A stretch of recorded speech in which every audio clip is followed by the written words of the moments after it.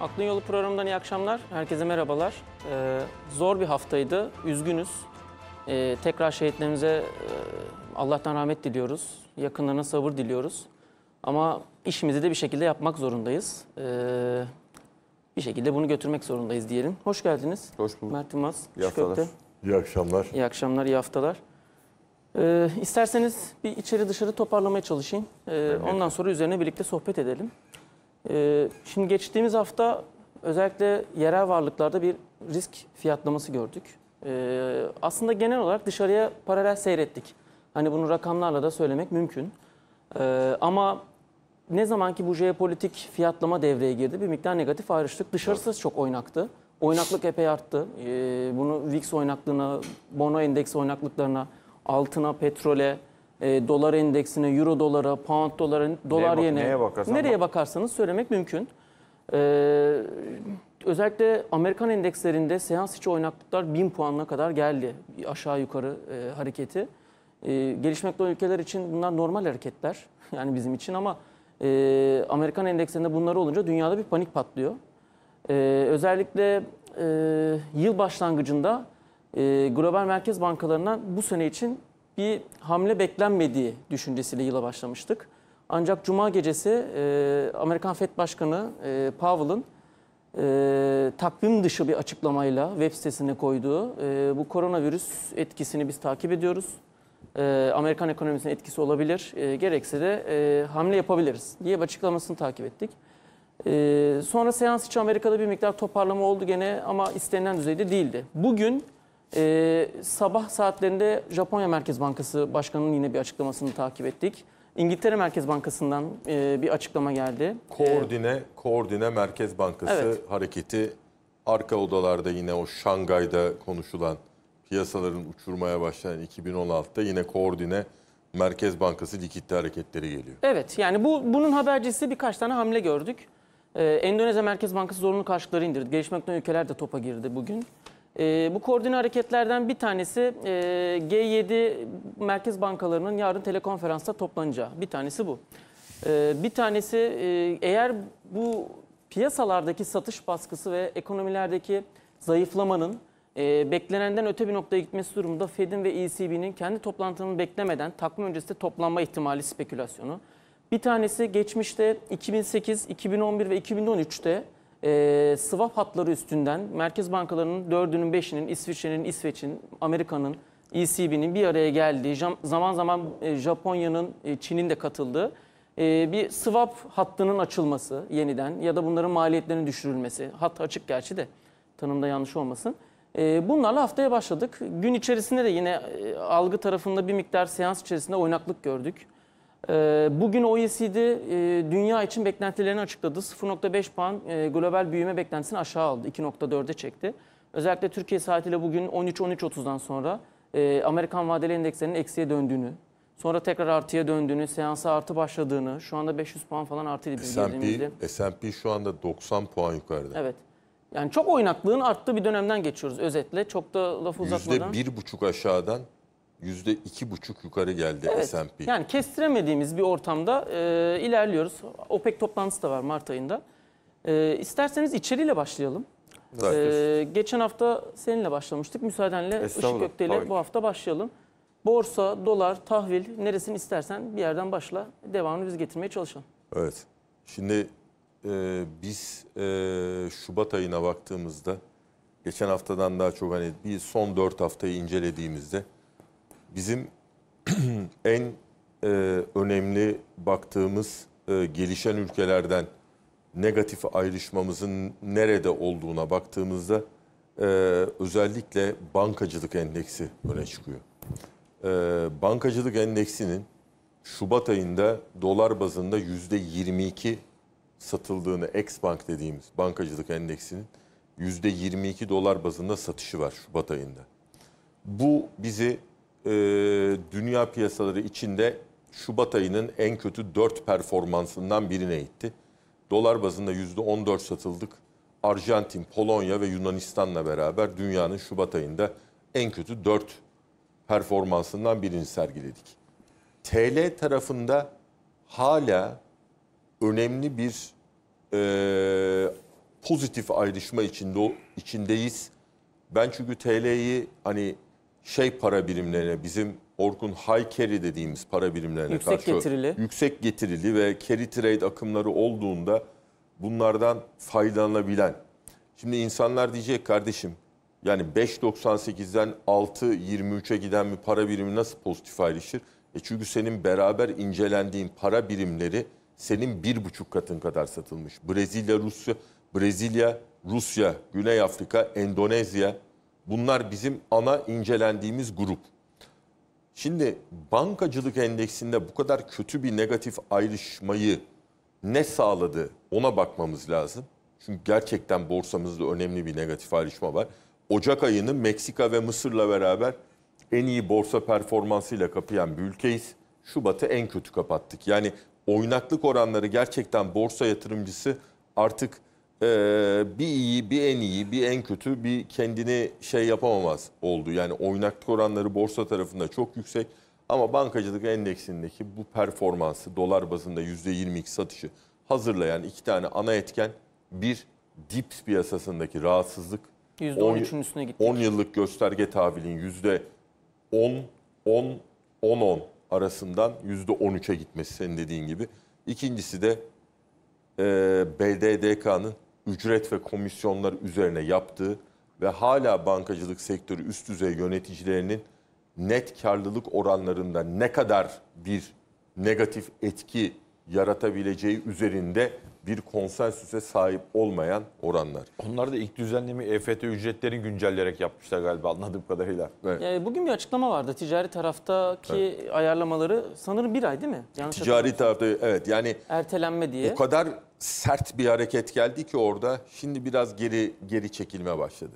Zaten bugün bankacılık endeksinin performansı işte yapı kredinin bugün yüzde beş yukarıda kapamasını filan da buna bağlamak lazım ama baktığımız zaman şu anda risk primi tarafında ciddi bir kötüleşme Çok. var.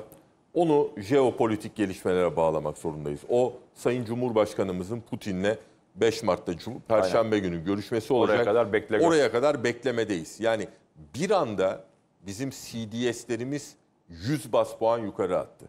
200, Hatta daha fazla. 400'e geldik. 400'ün hayır, sınırında. 240'lar en iyi geldiğimiz yerde. 239 Evet, evet. en iyi kapanışımızdı. Bugün Sen çok 388 var değil mi? Aynen Tabii. öyle. 388. 200 Mert çok haklısın. Biz en iyi günümüzde, en iyi günümüz neydi? Ocak ayının dördüncü haftası başlangıç 21 Ocak. 21 Ocak'ta borsa 2 sentin üzerinde 2.08 kapanış. Ee, şey Dips %10, 10 yıllık gösterge tahvil failin gördüğü. Hatta onu altını test edip Bir gün bir içerisinde gün bir ediyoruz. grafiklerde saat oluşan Evet, bir saat filan test edip onun altını.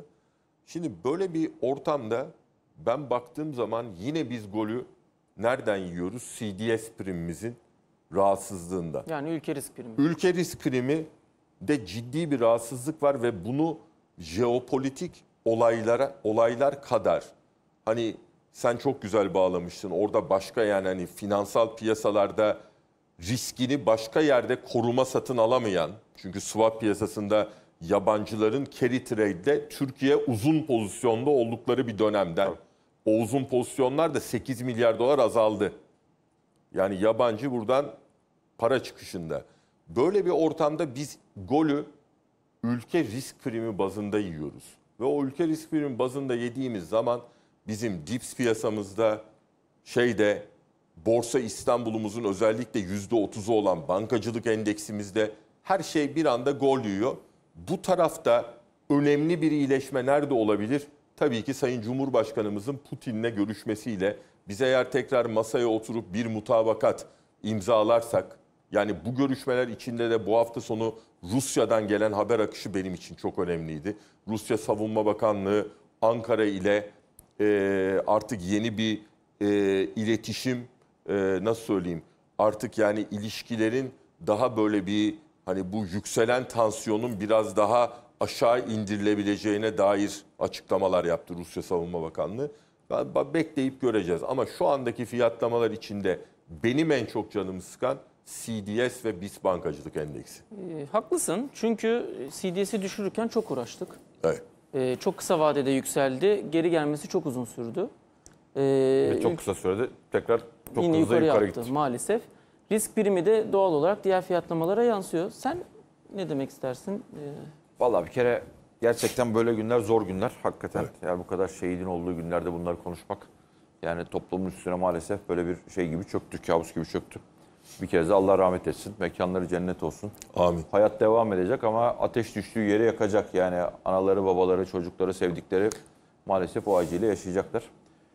Tek ümidimiz, tek beklentimiz bundan sonra buna benzer haberlerin gelmemesi, bu tip acıların ülkede yaşanmaması. Amin. Hepimizin kendi, İnşallah. kendi adımıza da e, siyasi görüşlerinden arınarak hepimizin e, başka bir duruş göstermesi gereken günlerdeyiz. Yani bu günler çok da tartışılacak günler değil. Neticede bunlar ülkenin evlatları, ülkenin çocukları. E, oraya giderken e, hangi siyasi partiye anasının babasının oy verdiğine bakarak gönderilmiş çocuklar değil. Dediğim gibi yani Allah sabır versin. Hani bir baba olarak e, hani kızımın ayağı incinse, e, tırnağı kesilse e, içimdeki acıyı anlatamayacak kadar biri olarak e, bunları dile getirmek çok kolay değil. E, Vallahi yani işin bence iki tane hikayesi var. Bir tanesi şu koronavirüs hikayesi, bir tanesi de işte Işın az önce e, hafiften bir girişini yaptı. Şu jeopolitik risk konusu. Yani izin verirsen koronavirüsle başladım. Geçen hafta, iki hafta evvel galiba burada konuştuğumuzda ilk yayındı. Işığın oturduğu yerde otururken şunu söylemiştim. Hani coğrafi olarak dünyada belli bir yere sıkışmış gibi gözüküyor. Bu piyasayı bir miktar şey yapıyor, rahatlatıyor. Ee, ama hani sıçrama riski ortaya çıkarsa başka bir fiyatlama ortaya çıkar diye. Ve maalesef korkulan oldu. Ben açıkçası bu kadar hızla, sen daha iyi bilirsin bunları. 56 ülke değil mi bugün itibariyle? Bugün 60'ı geçti. 60'ı mı geçti? 60'ı geçti. Yani 90 bin vakaya gitti. 60 ülkede birden e, bunun görülmesi çok ciddi sayıda vaka sayısı var. Çok ciddi sayıda hayatını kaybeden insan var. İşte İtalya gibi, Amerika gibi pek çok ülkede hani bugün itibariyle belki de bardağın dolu tarafını göreceksek hala Türkiye'de görülmemiş olması bence son derece kıymetli ve önemli. E, bu tabii ister istemez bütün dünyada yani o Çin, Japonya, Güney Kore o coğrafyadan başlayan hani ya oradaki bu iç çeyreklik ekonomik aktivitedeki zayıflama dünyaya ne kadar yansırı konuştuğumuz yerlerde baktık ki dünyanın her yerinden böyle şey gibi e, haberler geliyor ve bu ister istemez dünyadaki ekonomik aktivitenin büyüme hızının yavaşlaması manasına geliyor. Sen de programı açarken söyledin. Otomatikman burada Merkez Bankalarının tekrar bir topa girmesi hali söz konusu. Zaten hani bu memleket yani şey bu dünyada ne olmak istemezsin deseler herhalde kimse Merkez Bankası Başkanı olmak Ama istemez. hiçbir yani. yerde. He? Tabii Ama- tabii bütün dünyada. Yani ne olursa olsun e, şey herkes Merkez Bankası'na gidiyor. Bu işten bizi kurtarın diye. Salgın hastalıkta da gidiyor. İşte e, jeopolitik riskle de gidiyor. Kendi gündemiyle de gidiyor. Burayı çok öngörmek, kestirmek çok mümkün değil ama piyasa bu konudaki biraz o sakin duruşunu falan kaybetmiş gibi gözüküyor çok doğal olarak. Hani işte bilim insanlarının söylediği havaların ısınmasıyla beraber belki mevsim etkisiyle sorunun çözülebileceği ya da hani o ateşinin düşebileceği, tansiyonun düşebileceğine yönelik ama hani e, bu önemli bir risk olarak önümüzde duruyor. Hani yarın gelebilecek bir haber ya tamamen örneklemek istiyorum. Kalıcı olarak bu sorunun çözümüne yönelik bir işte aşının bulunması, tedavinin bulunması çok hızlıca riskli varlıklara tekrar risk iştahının açılmasını beraberinde getirir. Ama net olarak gördüğüm şey riskli varlıklardan bir kaçış olduğu yönünde. Bunu nerede görüyoruz? İşte çok ciddi derecede altın fiyatlarında gördük. Petrol fiyatlarını çok ciddi derecede düşüşte gördük. Pek çok yerde gördük. Ee, diğer taraf bizim açımızdan işte e, şey tarafı, jeopolitik risk tarafı çok uzun süredir devam eden bir e, yani burnumuzun dibinde bir iç savaş yaşanıyor. 10 yıl artık. Ee, evet neredeyse. Ve orada e, uzun süredir Türkiye'nin işte Amerika Rusya arasında bir dış siyasetini dengeleme şeyi, çabası.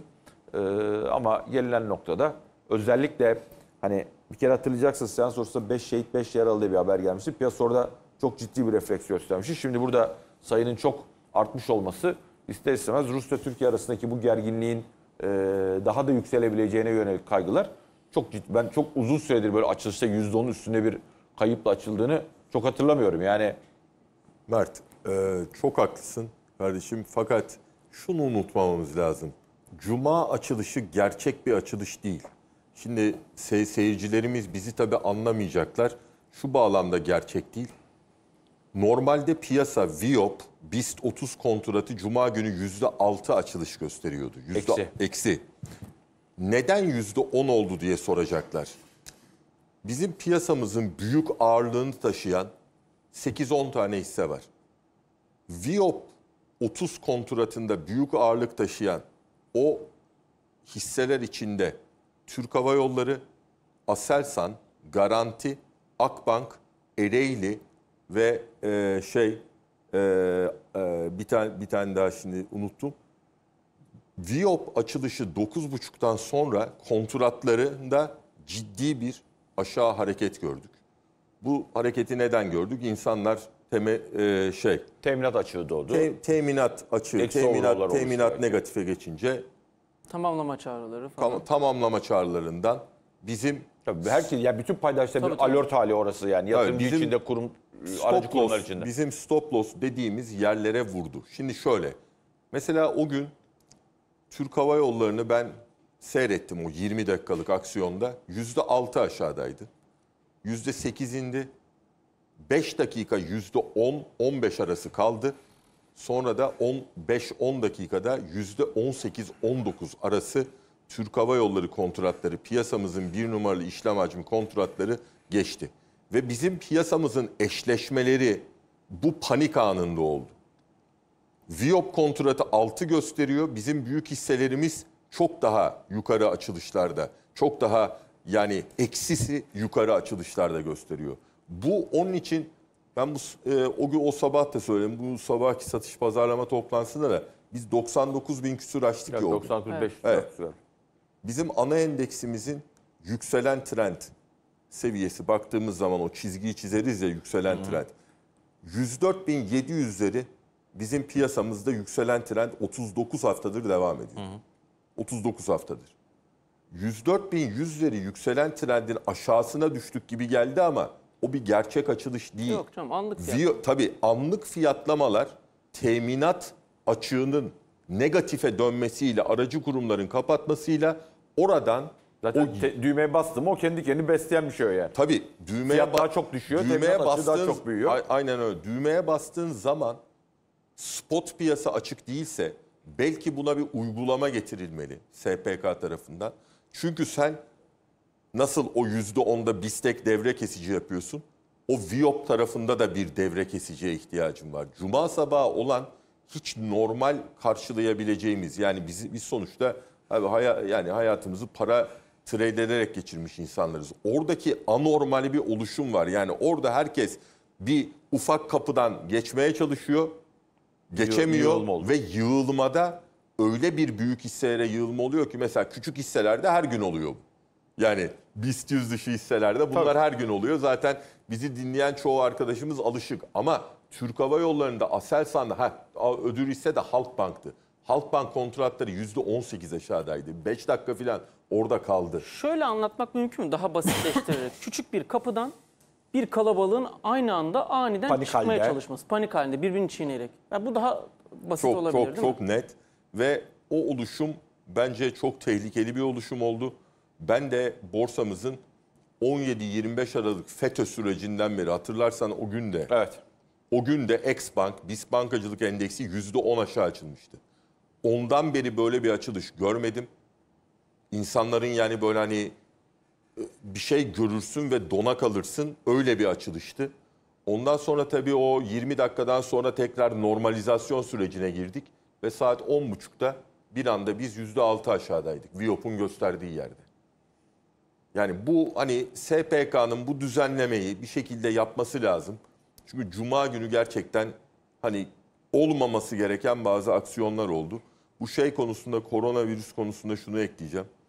Bugün Trump'ın ilaç şirketi üst düzey yetkilileriyle hani Amerika'da çok büyük ilaç şirketleri var ya böyle hepimizin ismini Onlardan duyduğu ilaçlarını birisiyle. kullandığı onların yetkilileriyle şu anda toplantısı Evet. var. O, o yetkililere şunu söylüyor. Bak kardeş sen bu koronavirüse bütün şeyini yap, bütün yatırımını yap. Buna bir çare bulmalısın. Yoksa ben seçimi kaybedersem sen ayvayı yedin. Çünkü o büyük ilaç şirketlerinin en büyük düşmanı kim? Bernie Sanders ve Joe Biden. Bu ilaç şirketlerinin en büyük düşmanları yarın Texas ve Kaliforniya'da Demokrat Parti adayı olmak için birbirleriyle çarpışacaklar. Evet. 13 yerde süper salı var Süper ya. salı olarak ama en büyük yerler Texas, Kaliforniya diye onları söyledim. Tabii çok daha fazla eyalet var haklısın. Burada bence Trump'ın bugünkü toplantısının zamanlaması çok manidar. Yani diyor ki Bir win-win projesi yani. evet yani kardeş buna buldun buldun. Sen bütün diğer projeleri bırak bunun üzerine yoğunlaş diyor. Müsaadenle şeyi soracağım. Ya biraz önce ben de seninle öğrendim hakikaten. Ee, bu Viop'ta devre kesici dediğin. Dünyada vadeli piyasalarda var mı böyle bir örnek bildiğin? Yani sen yurt dışını hepimizden daha iyi takip ediyorsun çünkü. Yani örnek olmuyor da bilir. Hani buraya uygulanabilir Var. bir şekilde New York Mercantile Exchange'de var. var. Var böyle bir devre kesici. Ee, şeyde var bildiğim kadarıyla London Metal Exchange'de, LMEX'te var. Ama bizim böyle bir şeye ihtiyacımız olduğu Cuma günü ortaya çıktı.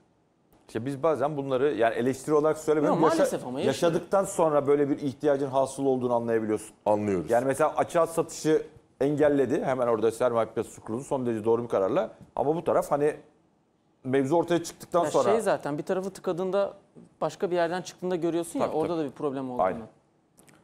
O zaman borsayla devam edelim. Hazır konuyu buraya kadar getirmişken ee, en eski borsacılardan birisisin. Ben yüzde olarak bakmadım ama puan olarak baktım. E, 2000'e kadar gittim 20 yıllık. E, hiç böyle bir 10 bin puanlık tek bir günde açılış görmedim ama yüzdesi olarak mutlaka ki vardır. Var, var. 17-25 Aralık'ı söyledi. Ya böyle ortamda yatırımcı ne yapsın? E, kafandaki seviyelere yakın mıyız yoksa aşağısına geldik bir endişe görüyor musun?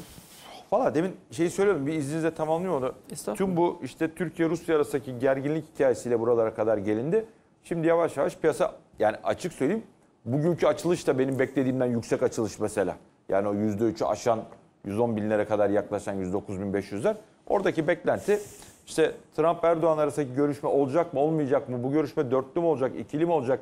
Rusya'dan çok böyle bir görüşmeye sıcak bakan mesajlar gelmemişti. Şimdi tekrar şeyin teyit edilmesi, görüşmenin teyit edilmesi 5 Mart'ta Sayın Cumhurbaşkanı'nın Moskova'da Putin'le görüşecek olmasının yavaş yavaş piyasadaki bir toparlanma emaresi.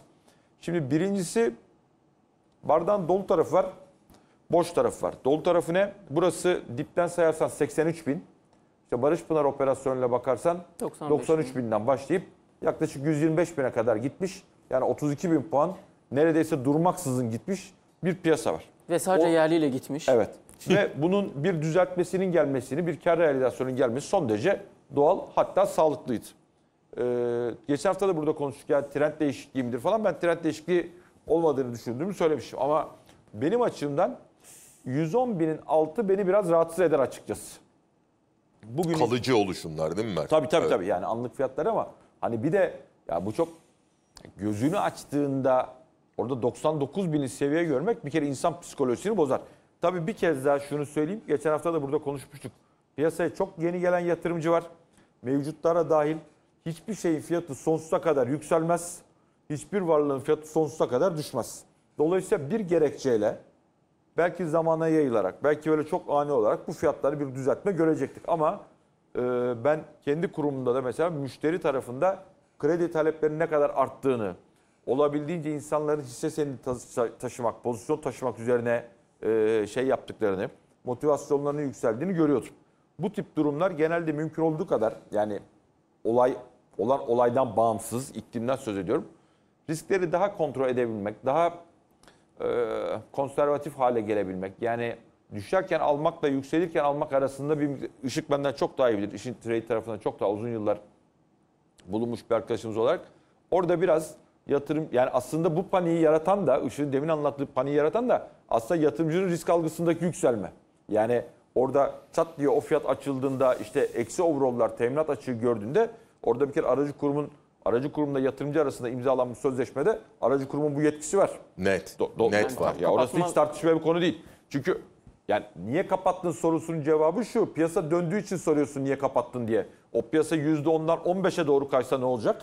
Dolayısıyla orada takdirini aracı kurum kullanır. Aracı kurumun ve- sermaye açığı bile çıkabilir Ta- öyle tabii tabii durumlarda. tabii. Yani öyle bir durumda herkes kendi gemisini yüzdürmekle mükellef olduğu için mevzuat buna izin veriyor. Sözleşme imza şeyi veriyorsa bu hakkı devretmişsen ha bir kurum X dakikasında kullanır, bir kurum Y dakikasında kullanır. O kurumların kendi iş yapış modelleri ama bugün itibariyle gelinen şey e, ya bir kere şunu söyleyeyim. Gerekçesi tabii çok farklı. Yani bir jeopolitik risk, neredeyse bir savaş hali.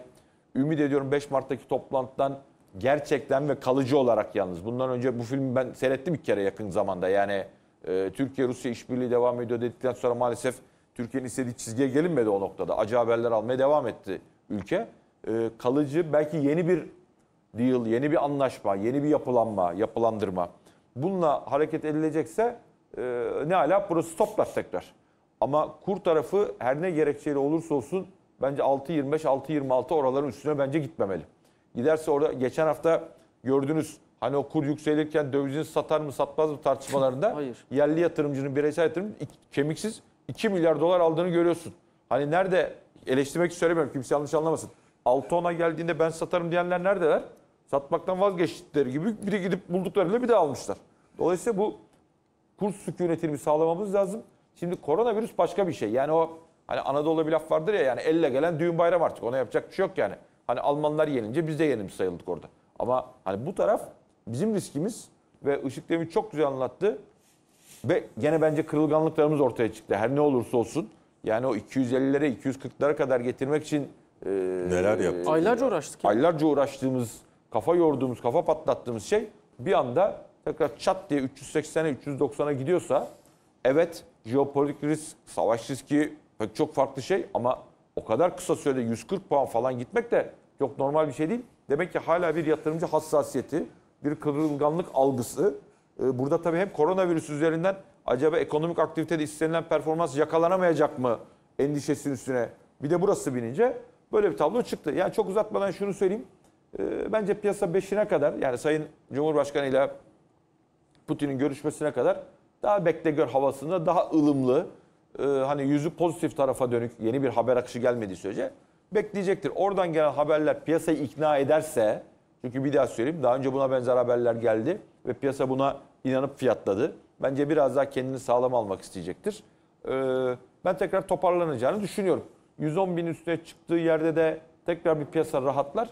Ama piyasa şunu gördü. Çok sert hareketlerin olabileceği e, gerçeğiyle de belki bazıları ilk kez, bazı yatırımcılar, bazıları uzun bir aradan sonra tekrar bir yüz yüze kaldılar. Herkesin bence kurumsal manada da yani sanayi tarafında iş yapanların da reel sektöründe, finans sektöründe her zaman riskini doğru yönetmesinin ne kadar önemli olduğunu bir kez daha ortaya çıkardık, gördük. Maalesef çok ciddi manada küçük yatırımcı portföylerinde şeyler var. Kayıplar, Kayıplar oluştu. var. Ve şunu söyleyeyim, son cümle çok uzattım kusura bakma. Yok.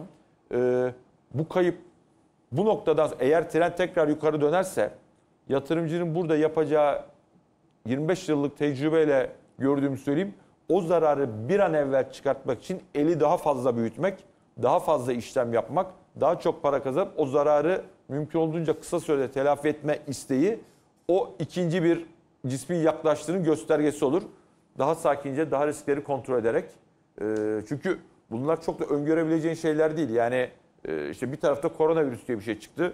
Bir tarafta işte gözünü açıyorsun başka bir şey var. Hani biraz sakin, kontrollü, herkesin biraz ayağının yere basması gereken günlere geldik diye düşünüyorum. Yani çok güzel toparladınız. İkinizin de ağzına sağlık hakikaten. Teşekkür ederim. Ee, şimdi 5 Mart önemli bir tarih, önemli bir kırılım olabilir. Ee, açıkçası benim kendi şahsi düşüncem 5 Mart'a kadar askeri anlamda sahanın hareketli olmaya devam edeceği. Yani bunu herhangi bir gözlemimle ya da bir analizimle söylemiyorum. Yani takip edebiliriz haber akışı kadar. Çünkü bildiğimiz bir alan değil ama e, herkes eline e, güçlendirerek masaya öyle gelmek isteyecek. Herkes o sahip olduğu alanı genişleterek gelmek isteyecek. O nedenle bu 5 Mart'a kadar olan süreç e, spekülatif anlamda da her an bir oynak haber akışının gelme riskini taşıyor. Doğru. Bir kere öncelikle bunu bir not etmek lazım. Ee, ben de çok zor görüşmelerin ardından bir anlaşma çıkacağını düşünüyorum. Ama bu ne kadar uzun soluklu olur ya da her iki tarafın da istediği sürdürülebilir bir olur. sürdürülebilir olur bunu bilmiyorum. Muhtemelen modernize edilmiş yani politika uzmanları, e, politik uzmanlar bunu anlatıyor. Modernize edilmiş bir Soçi anlaşmasının üzerinden. Çünkü orada bahsedilen İdlib sınırlarının e, şimdi farklı bir noktasındayız. Türkiye askeri anlamda farklı bir noktaya geldi. Özellikle hafta sonu takip ettiğimiz haber akışı bambaşka. E, ondan sonra artık daha farklı bir yolumuzu e, dışarıya paralel devam etmeye çalışacağız. Tabii çok fazla da şimdi TL varlıklar e, ayrışmadı. CDS konusunda bir fikrimi belirteyim. E, CDS'in belki de bu kadar kısa bir sürede e, bu kadar hızlı bir hareket yapma nedeni burada şapkayı da önümüze koymak lazım. Başka tarafları kapatmamız nedeniyle. Evet. Şimdi onu anlatmaya çalıştım ya swa- swap tarafını. Swap piyasasında bu kadar şeyi yaptıktan sonra özellikle bu son %10'luk ayarlamanın ardından gerekçesi her neyse e, onu idare karar verenlerin şey yapacağı bir şey, değerlendireceği bir şey. Onun dışında insanlar o zaman riskini taşı yabancılar zaten burada küçücük bir e, risk kalmış. onun üstündeki riski de başka türlü hece edemiyorlar. Doğru. O nedenle biraz önceki endeksteki küçücük kapıdaki herkesin sıkışması örneği burası için de geçerli. O zaman da gidiyorlar CDS tarafında baş, e, bunu yapmaya çalışıyor. Yani CDS'in 380'lere 400'lere geldiği bir noktada e, 10 yıllık tahvilin düşük hacimle ya sadece %13'le kalması, swap piyasasının çok ciddi bir hareket etmemesi, işte dolar TL'nin 6 26-25 bandında kalması bunlar endeksin bu kadar sert hareket yaptığı ortamda bunlar da sağlıklı hareketler değil. Tabii ki Yani canım. bunlar da gerektiği gibi fiyatlama, fiyatlayamadığı e, sonucunu gösteriyor. gösteriyor. Tabii, evet, tabii. Ya bu da bunun burada bir teyidi noktasında. E, tabii burada şeye de not düşmek lazım. Yani tahvil faizlerindeki yükseliş. Burada biz 11,5'larda 12'lerde diyorduk. Hisse senetleri üzerinde bir ek baskı neden olur. Çünkü temel anlamda değerlemelerde, fiyatlamalar üzerinde değişikliğe neden olur diye. Şimdi 13'lerdeyiz. Tabii bu hemen 13'e gelince bir değişiklik anlamına gelmiyor. Ama burada bir kere Kalıcı daha... olacak mı olmayacak Evet. mı ona bakmak lazım. İnsanlar bunu düşünüyorlar. Şimdi dışarısı da bozuk. Ee, TL an, TL üzerinde şunu söyleyeyim. Zor yani karışık bir takvime giriyoruz. FED, ECB, bizim Merkez Bankası döngünün içinde kalmaya devam edecek mi, etmeyecek mi, bekleyecek mi? FED ne yapacak? Şimdi dışarıda e, FED'in faiz indirmesi bardağın ne tarafından bakarsanız o şekilde yorumlanabilecek bir şey. Dolu Ben, ben tarafından- olumlu okuyanlardan olmam mesela o hikaye. Evet yani dolu tarafından bakalım. Ee, Okey finansal koşullar gevşiyor. Ee, ama geçen yılki örnek şunu gösterdi. Finansal koşullar gevşediğinde sadece ülkelere borçlanma maliyetleri üzerinden yardımcı oluyor. Ne yaptı Türkiye? 5-6 milyar dolarla e, Eurobond beklentileri çıktığı yılda işte 9-10 milyar dolarla kapattı. Doğru. Fazladan borçlandı. İçerideki faizlerin yüksekliği. Bunu Suudi Arabistan'da yaptı, başka emsallerimiz yaptı. Ama aynı miktarda tüm gelişmekte olan ülkelere e, fon akışının olmadığını gördük. Bunu tecrübe ettik. 310 milyar dolar gelişmekte olan ülkelerin tamamına fonun gittiği bir yılda Türkiye'den para çıkışı olduğunu takip Arkadaşlar ettik. izninizle bir şey söyleyebilir miyim? Pa- Çok Tabii affedersiniz ki. sözünü keseceğim ama. Estağfurullah. Şimdi önümde bir grafik var. Ee, 2005 yılından 2019'a kadar Türkiye'ye gelen, giren çıkan şey ee, ne derler? E, Yabancı Merkez para Bankası rakamı. mı? E, e, Tamam. Geçen hafta Işık söylemişti. 2019 yılında 2.7 milyar dolar çıkış var Türkiye'den. Çıkış var. 21 Şubat itibariyle çıkan para 2.9 milyar dolar. Geçen yıl toplamında çıkandan daha fazlası 21 Şubat haftasıyla çıkıyor. Ve son 3 yıldır 2018, 2019, 2028 haftasına baktığında eksi ve 2015'ten beri sadece 2017'de bir şey var. Para girişi var 10 milyar dolar, 11 milyar dolar yaklaşık. Ve bu rakamlar neyi ifade ediyor? Mesela 2010'da yaklaşık çok yuvarlayarak söylüyorum rakamları. 2010'da 14,5 milyar dolar var. 2011'de 15 milyar dolar var. 2012'de 25 milyar dolar var. 2013'te yaklaşık 11,5 milyar dolar para giren ülkeye ne oldu da likidite bolluğu bu kadar devam ederken dünyada bu para gelmekten vazgeçip çıkmaya karar verdi. Bence bunu oturup iyi anlamamız lazım. Sayın Bakan'ın söylediklerine katılıyorum. Aynı fikirdeyim. Yani sıcak para evet girerken iyi ama çıkarken sıkıntı yaratıyor. Volatilite yaratıyor, oynaklık yaratıyor. Ama bu yani bizim bunu bir dönüşüm olarak uzun vadede bu paraya ihtiyaç duymayacak ekonomik bir modele taşıdıktan sonra ancak buradan vazgeçme lüksümüz var. Yani Sabah sabah kalktığımızda her ay 6,5 milyar dolara ihtiyacı olan bir ülke olarak şu anda bizim yabancı sermayeyi dışarı çıkaracak bir durumumuz yok. aynen öyle. İkinci çeyrekte özel sektörün dış borç ödemesi 17 milyar dolar. Evet. Bu yılın ikinci çeyreğinde. Evet. Senle hiç konuşmadan gelmiş. Sözün bir tamamlamış bitti bitti mıydın? tabii tabii bitti. Hani Yani- ben de hep önümde çok müsaade istiyorum. Tabii abi, o rakamlarla geziyorum. Bak 2005-2017 ortalaması hiç paslaşmadan geldik. Ee, Türkiye yurt dışı yerleşik portföy hareketi ortalamada 6.2 milyar dolar gelmiş. Ortalama. 2005-2017. Sonra ne oluyorsa 2018-2019 ortalaması eksi 2.3 milyar dolar. Ondan sonra zaten Ben bambaşka sana söyleyeyim. hikayeler.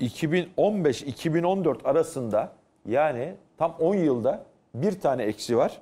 O da 2008 küresel krizin olduğu Küresel yer. kriz. 4 milyar dolar çıkış var. Ki orada her yer güvenli liman tabii, tabii alıyor. tabii. Yani 10 yılda sürekli ülkeye para girmiş neredeyse istisnasız. Bir yılı dışarıda bırakırsan.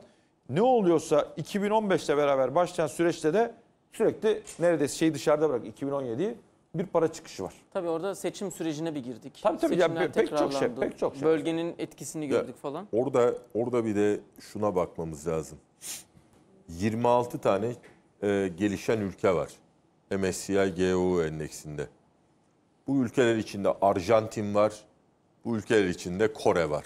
Yani böyle bir yelpaze Spektrum olarak geniş. evet bir yelpaze olarak hani en berbattan en iyi durumda olana bir En yelpaze, piyasadan yelpaze en çıkarsak. kapalısına. Şimdi biz burada bazı şeyleri konuşuyoruz ama bu konuştuğumuz şeylerin ne kadar fiyatlar içinde olduğunu yani bunların ne kadar fiyatlar içinde olduğunu anlatmak için e, ufak bir örnek vereceğim. Bize bizim araştırma birimimize bugün gelen güzel genç stajyer kardeşlerimiz vardı. Onlar için çıkartıyordum bunları. Yani bir hisse senedi endeksi pahalı mıdır, ucuz mudur, nelere bakılır, hangi parametrelere filan işte defter değeri, fiyat kazanç oranı filan. Biz bu Arjantin'den Kore'ye olan şey içinde hala 2020 tahmini oranı fiyat kazanç oranında %52 gelişen ülkelere karşı iskontoya düştük. Bu hesapta %52 Arjantin'de var mı? var. Hepsi var. En ucuzuz. Bütün ül- yani Pakistan'dan bile ucuzuz da onu her hafta söylüyorum. Bu çünkü içime kan ağlatan bir şey. Ama o değil. %52 iskontoya düştük. Biz şu anda MSCI gelişen ülke endeksine karşı 1995 seviyesine geriledik. 1994 krizinden sonra o anayasa fırlatma olayıydı değil mi 1994? Yok 94 Çiller. Pardon. 94. Çile, evet. 5 Türkiye- Nisan kararları. Evet. Türkiye'nin yaşadığı en büyük finansal krizlerden birinin 1995 seviyesine düştü Türk hisseleri İYM'e karşı. Baktım mesela dedim ki bak şimdi biz 5.9 5.9 FK'dayız. İYM 12.1. Hindistan bugün bugün Hindistan'da 40 tane Müslüman kardeşimiz öldü. Hindular cami yaktı Maalesef. maalesef bunları da bunları da konuşmalıyız. Oradaki Müslüman kardeşlerimiz bugün büyük olaylar oluyor Hindistan'da son 4 4 gündür ama bizim içimiz kan ağladığı için İdlib'deki şehitlerimize Kafayı o kaldırıp da kafayı kaldırıp bakamıyoruz. bunlara bakamıyoruz. İçinde içinde ibadette olan e, Müslümanlar olan camiyi yaktılar. Diri diri insanlar yandı Hindistan'da bugün. Bugün ne oldu Hindistan endeksine? Yüzde bir buçuk yukarıda. Onun için finansal piyasaymış, şuymuş, buymuş başka işler. Doğru. Hindistan Hindistan 20 FK'da, senin Borsa İstanbul'un 6 FK'da kardeş. Neden? Çok basit bir nedeni var. Sen risk primini düşüremiyorsun. Bu kadar basit. Hindistan'ın risk primi 62 bas puan, 5 yıllık CDS. Seninkisi gelmiş 388 bas puan. Seninki düşmüş haliyle 250. Seninkisi düşmüş haliyle 240 gördü o kadar. Şimdi böyle bir ortamda bazı insanlar şunu sormamalı. Yani ya bizim hani Borsa İstanbul'umuzda 2 sent bile görmedi işte bilmem ne ucuzsa. Evet yani dünya zaten ucuz ama işte bu nedenlerden ucuz. Yani senin borsan onun için zaten 5.9 FK'da tahmini. Ya sen onun için buradasın. İns- ama Mert biz yabancı kurumsal yatırımcıyı özellikle Amerikalı yabancı kurumsal yatırımcıyı bu ülkeye tekrar getirmeden devlet iç borçlanma senetleri piyasasına, Borsa İstanbul'umuza getirmeden düzlüğe çıkamayacağız. Bu kardeşler kim? Alliance'lar, Fidelity'ler, BlackRock'lar, GMO'lar, Türkiye Dünya- pazarında çok iyi bilen, Türkiye geçmişte çok Türk- büyük yatırım Türk yapmış. hisse senetlerini şu anda bize şuraya gelip onların analisti bize öğret, öğretecek seviyede olan kardeşlerimizden dört tane trilyon yani bunların bütün avumlarını, e, varlıklarını birleştirsen trilyon dolar üzeri olur bu kurumların. Bu kardeşler artık Türk piyasasında yok. Ee, yalnız bir şey söyleyeyim İşte mi? bunları nasıl geriye getireceğizi bizim artık konuşuyor Bence olmamız lazım. mak- makro tarafta yaşananlar yani her ne kadar bu hikaye Türkiye-Rusya arasında bir gerginlikse bu, bu devam edebilir gibi gözükse de diğer taraftan da gene bunu da geçen hafta konuştuk. Aslında hani Birleşik Kaplar misali bir taraftan da Türkiye-Amerika arasındaki ilişkilerdeki bir iyileşme, bir toparlanma, işte tekrar bir NATO müttefikliğinin hatırlanması gibi pek çok şeyi de içinde barındırıyor. Yani bu tarafta bir risk var jeopolitik manada Rusya, Suriye politikasında ama öbür tarafta e, ben Amerika ile ilişkilerin daha iyi yere gideceğini ve bunun bir miktar daha istenilen seviyede olur olmaz. Onu şu andan kestirmek çok kolay değil ama e, oranın biraz daha şey olacağını şu ama ya ne olur ben anlatmayayım. Hani hem sorup hem anlatan olmam ama Orkun sen ne istiyorsun? Şu bir finansal okur yazarlara da katkı sağlayalım. Hazır iki saat burada program yapıyoruz. Ya şu CDS nedir, nasıl fiyatlanır, nedir, ne değildir? Şunu iki dakika anlat. Hazır geçen hafta sonu Ee, hocalık da yaptın ilk deneyimin. Sağ ol eksik olma bu arada. Bilgi Yok ilk Üniversitesi. deneyimim değil. Bahçeşehir'de Öyle mi? Aa bilmiyordum pardon. çalıştığım kurumun yüksek lisansla O, anlaşması süper. vardı. Bir de bankada zaten 6 sene her işe başlayan arkadaşımıza bir makroekonomik gelişmeleri de anlatmıştım. Teşekkür ederim bu arada Ben teşekkür yardım. Çok- için. Çok güzel bir sınıf. Çok Eyvallah. Senden iyi olmasın abi. ee, yani CDS şu, bir ülkenin, bir ülkeye bir yabancı yatırımcı e, yatırım yapacağı zaman, bu ülkeye bir fon sokacağı zaman, işte ya da başka bir şey yapacağı zaman, kıymet alacağı zaman bu ülkenin default riskine karşı yani iflas riskine karşı bir sigorta maliyeti. Bunu bir nevi e, bu ülkenin iflas edip etmeyeceğinin hiçbir garantisi yok. Bu arabalara bizim yaptırdığımız kasko gibi, evlere tabii. yaptırdığımız DASK sigortası gibi. Allah korusun evin yıkılıp yıkılmayacağını bilmiyoruz. Ya da arabayı vurup vurmayacağımızı, yaptırıp yaptırmayacağımızı bilmiyoruz. Ama bunun gibi bir şey. İşte 3,5-4 e, bir borçlanma maliyeti ise onun üzerine de bir miktar ülke risk primi kadar 2,5-3 puan neyse CDS'iniz koyup e, orada karşılıklı taraflar arasındaki bir anlaşmayla e, bunu bir deal etmek ve bunu tamamlamak. Sigortalatmak. Ta- Ya Sigortalatmak. dör- bu tamamen bu. 400 bas puan diye tanımladığımız yani Türkiye'nin CDS'i yuvarlayarak söyledim. Aynen öyle. 400 puan dediğin şey 100 dolarlık bir Türk tahvilinin 4 dolara sigortalanması demek. Aynen. O ne kadar aşağı geliyorsa işte 2,5'daysa 250 ise 2,5 dolara sigortalatırken bugün o sigortalama maliyeti 4'e çıktı.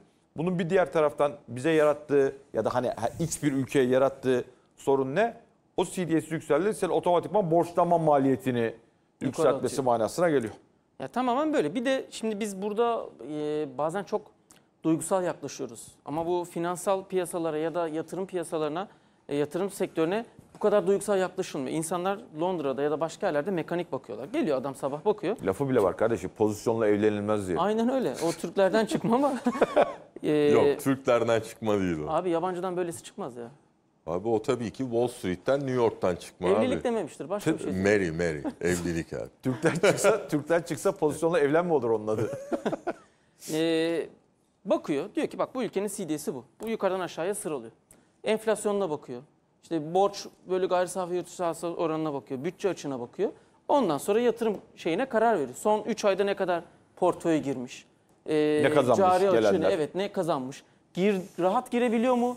Girdiği kadar rahat çıkabiliyor Tabii. mu? Ya bunların hepsi birer kriter şeyinde, e, sepetinde harmanlanıyor. Ona göre karar veriliyor. Yani bu işler böyle gidiyor. Ee, Rusya Amerika konusunda e, bir şey eklemek istiyorum müsaadenizle. Şimdi Amerika'nın da ama ne yaptığı belli değil. Ne zaman Rusya ile aramızda bir politik anlamda gerginlik olsa James Sheffield akşamını Ankara'da. Tabii tabii canım. Ama hafta sonu hafta Baba va- valizi hazır tutuyor kenarda. Evet. Bir şey olsa da yani uçsak diye. belki bunu da tartışmak lazım. Hatta belki de kesinlikle. Ee, Ama uluslararası siyaset öyle bir şey zaten. Yani ezeli dostluk yok.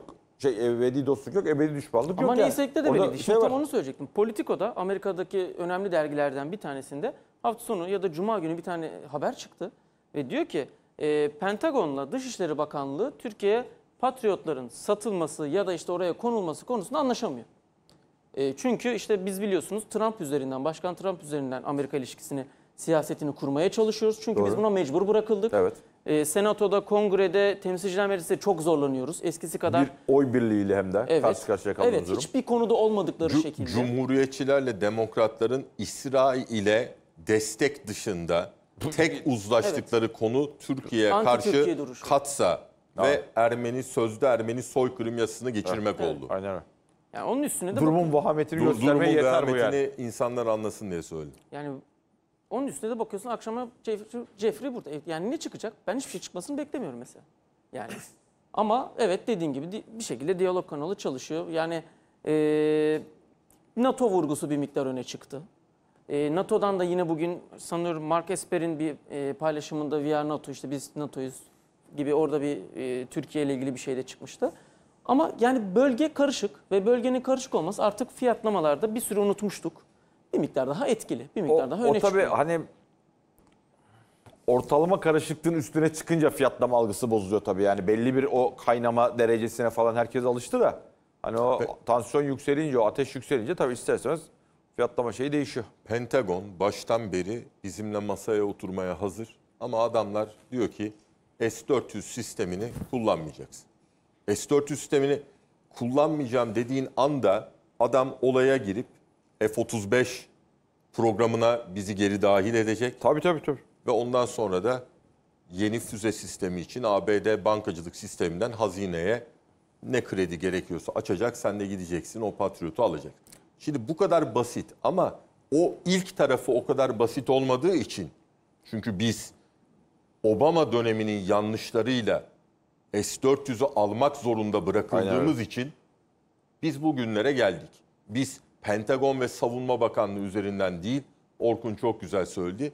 Biz Sayın Cumhurbaşkanımızın Trump ile yürüttüğü Tabii, iki devlet ikili, lideri. ikili ilişkiler üzerinden gidiyoruz. Onun için sürekli bana aynı soruyu soruyorlar. Abi en önemli gün nedir? Şu bu. Hayır kardeş diyorum. En önemli gün TL varlıklar açısından 2020 Kasım'ın ikinci Aynen. haftasındaki ABD seçimleri. Aynen öyle. 3 Kasım.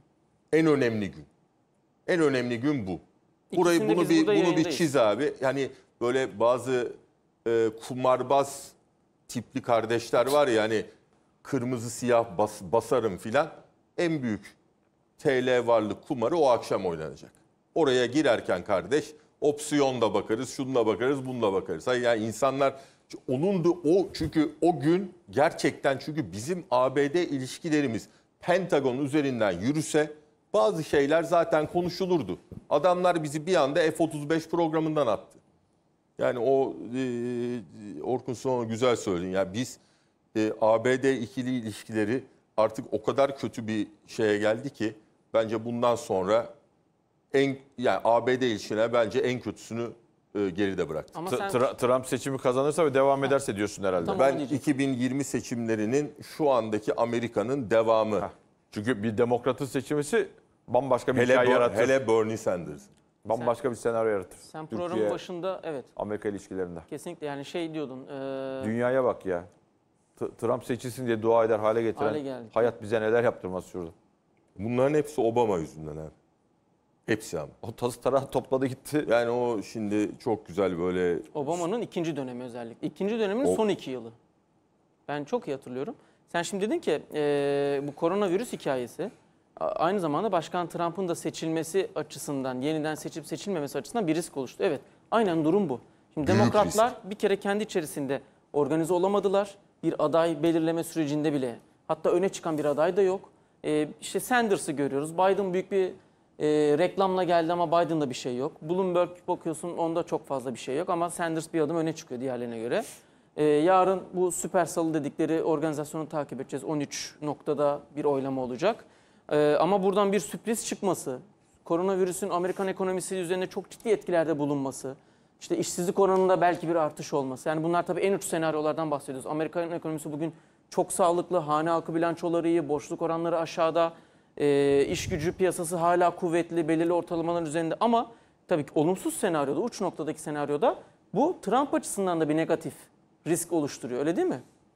Trump açısından inanılmaz büyük bir risk oluşturuyor. Çünkü işler bu kadar iyi giderken şimdi çorbanın içine sinek kaçtı. Abi iki hafta evvel konuşmuyorduk sen anlatıyordun. Yani ne olacak da Amerika'da bu kadar iyi giden ekonomik göstergeler ne olursa bozulabilir Derken bu konuşurken- geldi, bu geldi dualarımızı Yüce Rabbimiz duydu diyelim. Ama öyle bir zamanda geldi ki bize de çok kötü Tabii. bir etkisi oldu. Onu da şimdi Trump tarafından baktığımızda bu sefer Fed Trump'ı bu etkiden kurtaramaz. Yani şu anda Fed faiz 12 aylık oranlar nerelere indi? 40 bas puanlardan 83 Evet. bas puanlara filan indi. değil Yıl mi? sonuna kadar 150 bas puan faiz indirim bekleniyor. Evet. Bugünkünün üstüne koyarsan sıfır hatta negatif faiz. Federal Yani- fonlama oranının üzerine koyarsan. Yani fe- federal fonlama oranı şu anda 1.4. değil mi? 1.50-1.75 arası. Tamam. Yani benim söylemeye çalıştığım eğer Powell'ın kendisini kurtarabileceğine inanıyorsa Trump bu bence büyük bir yanılgı olur. Çünkü o kadar iyi giden veriler bir anda 6 ay bir kötüye gitsin ikinci çeyrekten başlayarak zor olur seçim. Abi Merkez Bankası Başkanı ne kadar destek verebilir, ne kadar yönetebilir, kendi ne, kaynaklı olmayan bir ne, kriz ne yapabilir yani. ya? Evet, Aynen öyle. Yani onun için bu akşamki toplantı bence Trump'ın yine iyi bir tüccar olduğunu gösteriyor. O belirli bir havuç verecek kardeşlere. Oradan da bir isteği var. Önemli. Burada benim en çok dikkatimi çeken e, ABD'de arkadaşlar öyle bir oluşum var ki e, ben eskiden beraber çalıştığım arkadaşlarla filan konuştuğumda özellikle bazı işler için kalifiye eleman fiyatlamasının o kadar yüksek seviyelere geldiğini söylüyorlar ki 2007 Lehman öncesi zamanlardan üzerine bir de enflasyon koy çok daha pahalıya eleman İş gücü maliyeti. iş gücü maliyetlerinin inanılmaz yüksek olduğunu söylüyorlar. Bu da tabii ki kı- 49 senenin en düşük işsizlik oranıyla alakalı. Tabii. Bir de üzerine hani ABD'de enflasyon yok filan diyoruz ama şu anda %2'yi aşmış bir enflasyon var orada. Yani farklı enflasyon göstergende 2,5-3'lere kadar Tabii gidenler var. %3'e Kendi kadar çıkanlar var. Yani şu anda iş gücü inanılmaz bir de kalifiye eleman. Tabii. Ee, yani sen gelip evinde oğluna kızına bakacak e, insandan e, şeyde finans sektöründe çalışacak insana kadar mesela bunu en iyi söyleyen insanlardan biri geçenlerde e, JP Morgan firmasından birisinin açıklamasını okudum LinkedIn'de Mert. Yani diyor ki biz diyor aldığımız junior insanlara diyor şey yüzünden teknoloji firmalarına çünkü teknoloji firmalarına gitmek istiyor ya bütün Tabii. gençler. İnanılmaz yüksek paralar ödemeye başladık diyor ya. Çünkü tutamıyor. Yani Tutamıyor. ala- alamıyor. Al- alamıyor tutamıyor. adam alamıyor kalifiye iş gücünü. Yani böyle bir ülkede e, hani bu bu tip bir rahatsızlık senin dediğin gibi Orkun değişik şeylere de yol açabilir Kasım 3 Kasım'da. Yani yani. getirdiğin nokta hakikaten hikayeyi çok güzel. Onu ben de takip ettiğim için bir katkıda bulunayım. Her ayın ilk cuması işte takvim etkisi nedeniyle arada sarkıyor diğer cuması. Amerika'da istihdam piyasası verileri geliyor. Bu hafta da takip edeceğiz. Tarım dışı istihdam diyoruz. Ee, orada alt kalemlere baktığında bunu bazen Powell'ın farklı kendi sunumlarında da görüyoruz. İş gücü piyasası canlı, iş gücüne katılma oranında artış var. Dahası tam dediğin nokta e, bazı sektörlerde bazı yerlere insan bulmakta zorlanmaya başlıyorlar. Bunu o JOLTS raporunun içerisinde de görebiliyorsun farklı detaylarda. O biraz daha gecikmeli geliyor. Ama evet çok dinamik bir İslam piyasası hala daha devam ediyor. Hala var. Ee, bugün PMI günüydü. Böyle bir son 2-3 dakikamız hani bir miktar oraya da değineyim. Lütfen değil. Ee, oradan artık ikinci bölüme de muhabbeti bırakırız. Bugün beklendiği şekilde Asya'da PMI'ların zayıfladığını gördük. Normal. Çin'de zaten cumartesi günü resmi PMI gelmişti. Bugün özel sektör PMI geldi. PMI dediğimiz satın alma yöneticileri endeksi soruyorlar. Anketlere cevap veriyor. Önceki İhracatla döneme ilgili- ilişkin Evet. beklenti aslında. Aynen öyle. İhracatla ilgili, üretimle ilgili, fiyat endeksiyle ilgili. Ee, burada Asya'da bir zayıflama gördük. Bu zayıflamada sıkıntı yok. Bu zaten bekleniyordu. Akşam Türkiye saatiyle 18'de 6'da ISM verisi geldi Amerika'da ki ekonominin önemli bir kısmını kapsıyor. %60-70'lik bir kısmını. Burada ISM'de diyor ki e, arz zincirinde teslimatların süresinde evet artık bir uzama var. Bunu Çin tarafındaki verilerde de görmüştük. Bir hafta önce Euro bölgesi PMI'larında da görmüştük. Şimdi bunlar aslında şuna işaret ediyor. Mart'ta Çin PMI verilerinde bir dipten dönüş beklense de e, Nisan verilerinde yani 1-2 ay geriden gelmeli, gecikmeli e, ekonomilerde bunun etkisini bir süre daha devam edebileceğini işaret ediyor. Bugün bizim Türkiye'de PMI geldi. PMI iyi geldi. Yani Evet. son 2 yılın yükseğinde bir PMI takip ettik. Hala 50'nin üzerinde, eşik değerin üzerinde e, genişlemeye işaret ediyor. E, ikinci yarıda konuşalım ama orada çok önemli bir detay var. Diyor ki e, girdi maliyetlerinde TL'deki değer kaybından dolayı e, bir kısmını fiyatlara yansıttılar. Diyelim e, bir kısa ara verelim dönüşte sohbete devam edelim. Tekrar merhabalar. Ee, ilk yarıda biraz içeriği toparladık. Bir miktar dışarıyı konuştuk. Hepsine programın ilerleyen dakikalarına tekrar değineceğiz. Ee, ben PMI demiştim en son. Biraz oradan devam edelim. Ee, Ne belki olmuş, söyleyeceğim, Ne, ol- ne olmuş şu PMI'de? Bir belki daha bir söyleyeceğim anlatsana. bir şeyler vardır. Ne olmuş? Ee, PMI'da imalat sektöründeki düzelme devam ediyor. Siparişlerde artış var. Ee, İslam tarafında, İslam kaleminde PMI'nin altında toparlanma var. Ve e, şirketler PMI'ya, satın alma yönetici endeksine e, verdikleri cevapta İslam'daki artışı yeni siparişlere dayandırıyorlar. E, İstanbul Sanayi Odası'nın Market'la birlikte yaptığı bir anket bu. E, arka sayfasında da diyor ki fiyatlarda girdi maliyetlerinde e, Şubat ayında TL'deki Buradaki hareketlenme yani TL, Türkçesi. Türk lirasındaki değer kaybından dolayı e, bir miktarını yansıttıkları e, şirketlerin değerlendiriliyor. Girdi Talep, fiyatlarında bir talep artış var. bulduğumuz anda geri kalanını yansıtırız diyor aslında örtülü olarak. Ya bir miktarda tabii ki yani açık olmasa da o da var. Ee, önce bardağın dolu tarafından konuşalım. İkinci ay üst üste eşik değer olan 50'nin üzerinde Evet. PMI'nin artı gelmesi pozitiftir. Tabii tabii. Türkiye açısından iyidir. Etrafındaki gelişmekte olan ülkelerin tamamında neredeyse PMI'lerde bir zayıflamanın olduğu ortamda ki biz geçen yılı tabii ki çöpe attık. Toparlanma biraz zaman aldı dipten. Aynen. Ee, bu pozitif. Ama istihdamın toparlaması yine gecikmeli de olsa pozitif. Ee, imalat gelecek aylarda sanayi üretimi verisine de şey yapacak, katkıda bulunacak. Çünkü ikisi arasındaki korelasyon 3 ay sanayi üretimi tarafında gecikmeli. PMI'deki toparlama yani 3 ay sonra yansıyor. Ama e, senin de bundan tam 2 hafta önce e, burada e, Yok tam geçen hafta. Geçen hafta mı? İlk programda konuşmuştuk. Biz her hafta konuşuyoruz enflasyon beklentilerini. O çünkü default geliyor artık. Ee, enflasyon beklentideki bozulmaya e, bir miktar değinmiştin. Ben de sana demiştim ki çok ciddi bir bozulma yok. Ama bu hızla gidecek olursa evet senin aynı kanaatteyim demiştim deyip sözü buradan sana bırakayım. Ee, buyurun saz elinizde Mert Bey. Yok bu arada şey iğneyi sana batırmak için yapmadım bunu yanlış anlamasın. Yok canım yani Ee, Ya tabii bir kere hani çok hızlı bir kur şey var tekrar yani 6-15'in üstü çok benim beklediğim yerler değildi açıkçası jeopolitik olarak ama şunu görmek lazım arkadaşlar. Bu ülkenin üretim modeliyle ilgili bir sorunu var. Yani ithalata dayalı o üretim modeli ister istemez kurdaki en ufak bir hareketlenmenin fiyatlara yansımasına, üretici tarafından fiyata yansımasına neden oluyor. İki, kur o kadar uzun süredir belli bandın içinde sıkıştı ki zaten ya bir şey olsa da şunu bir fiyatlara yedirsek diye bekleyen bir şey de var, grup da var. Ama buradaki en önemli şey şu.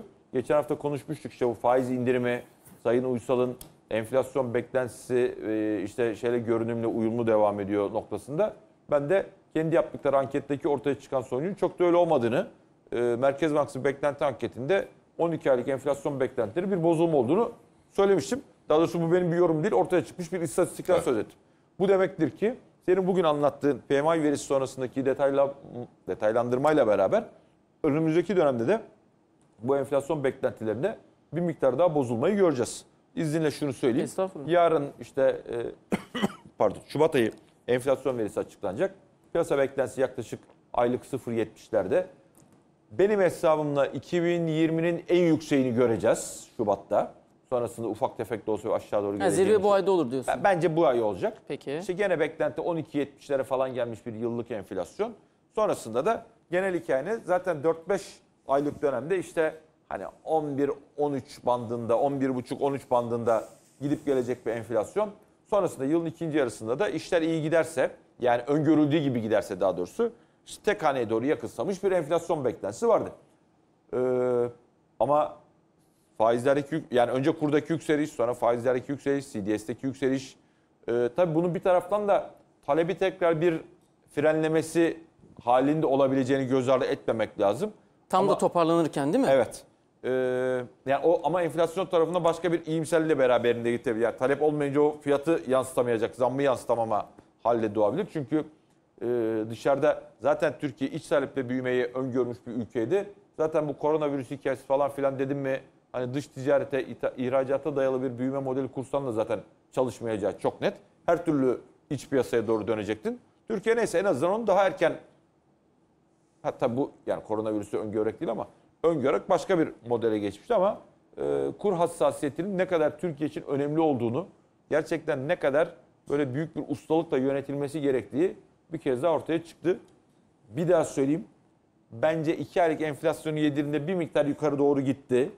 Ama e, seviyeden ziyade volatiliteden bağımsız olduğunu, şeyin rahatsızlığın söyleyeyim.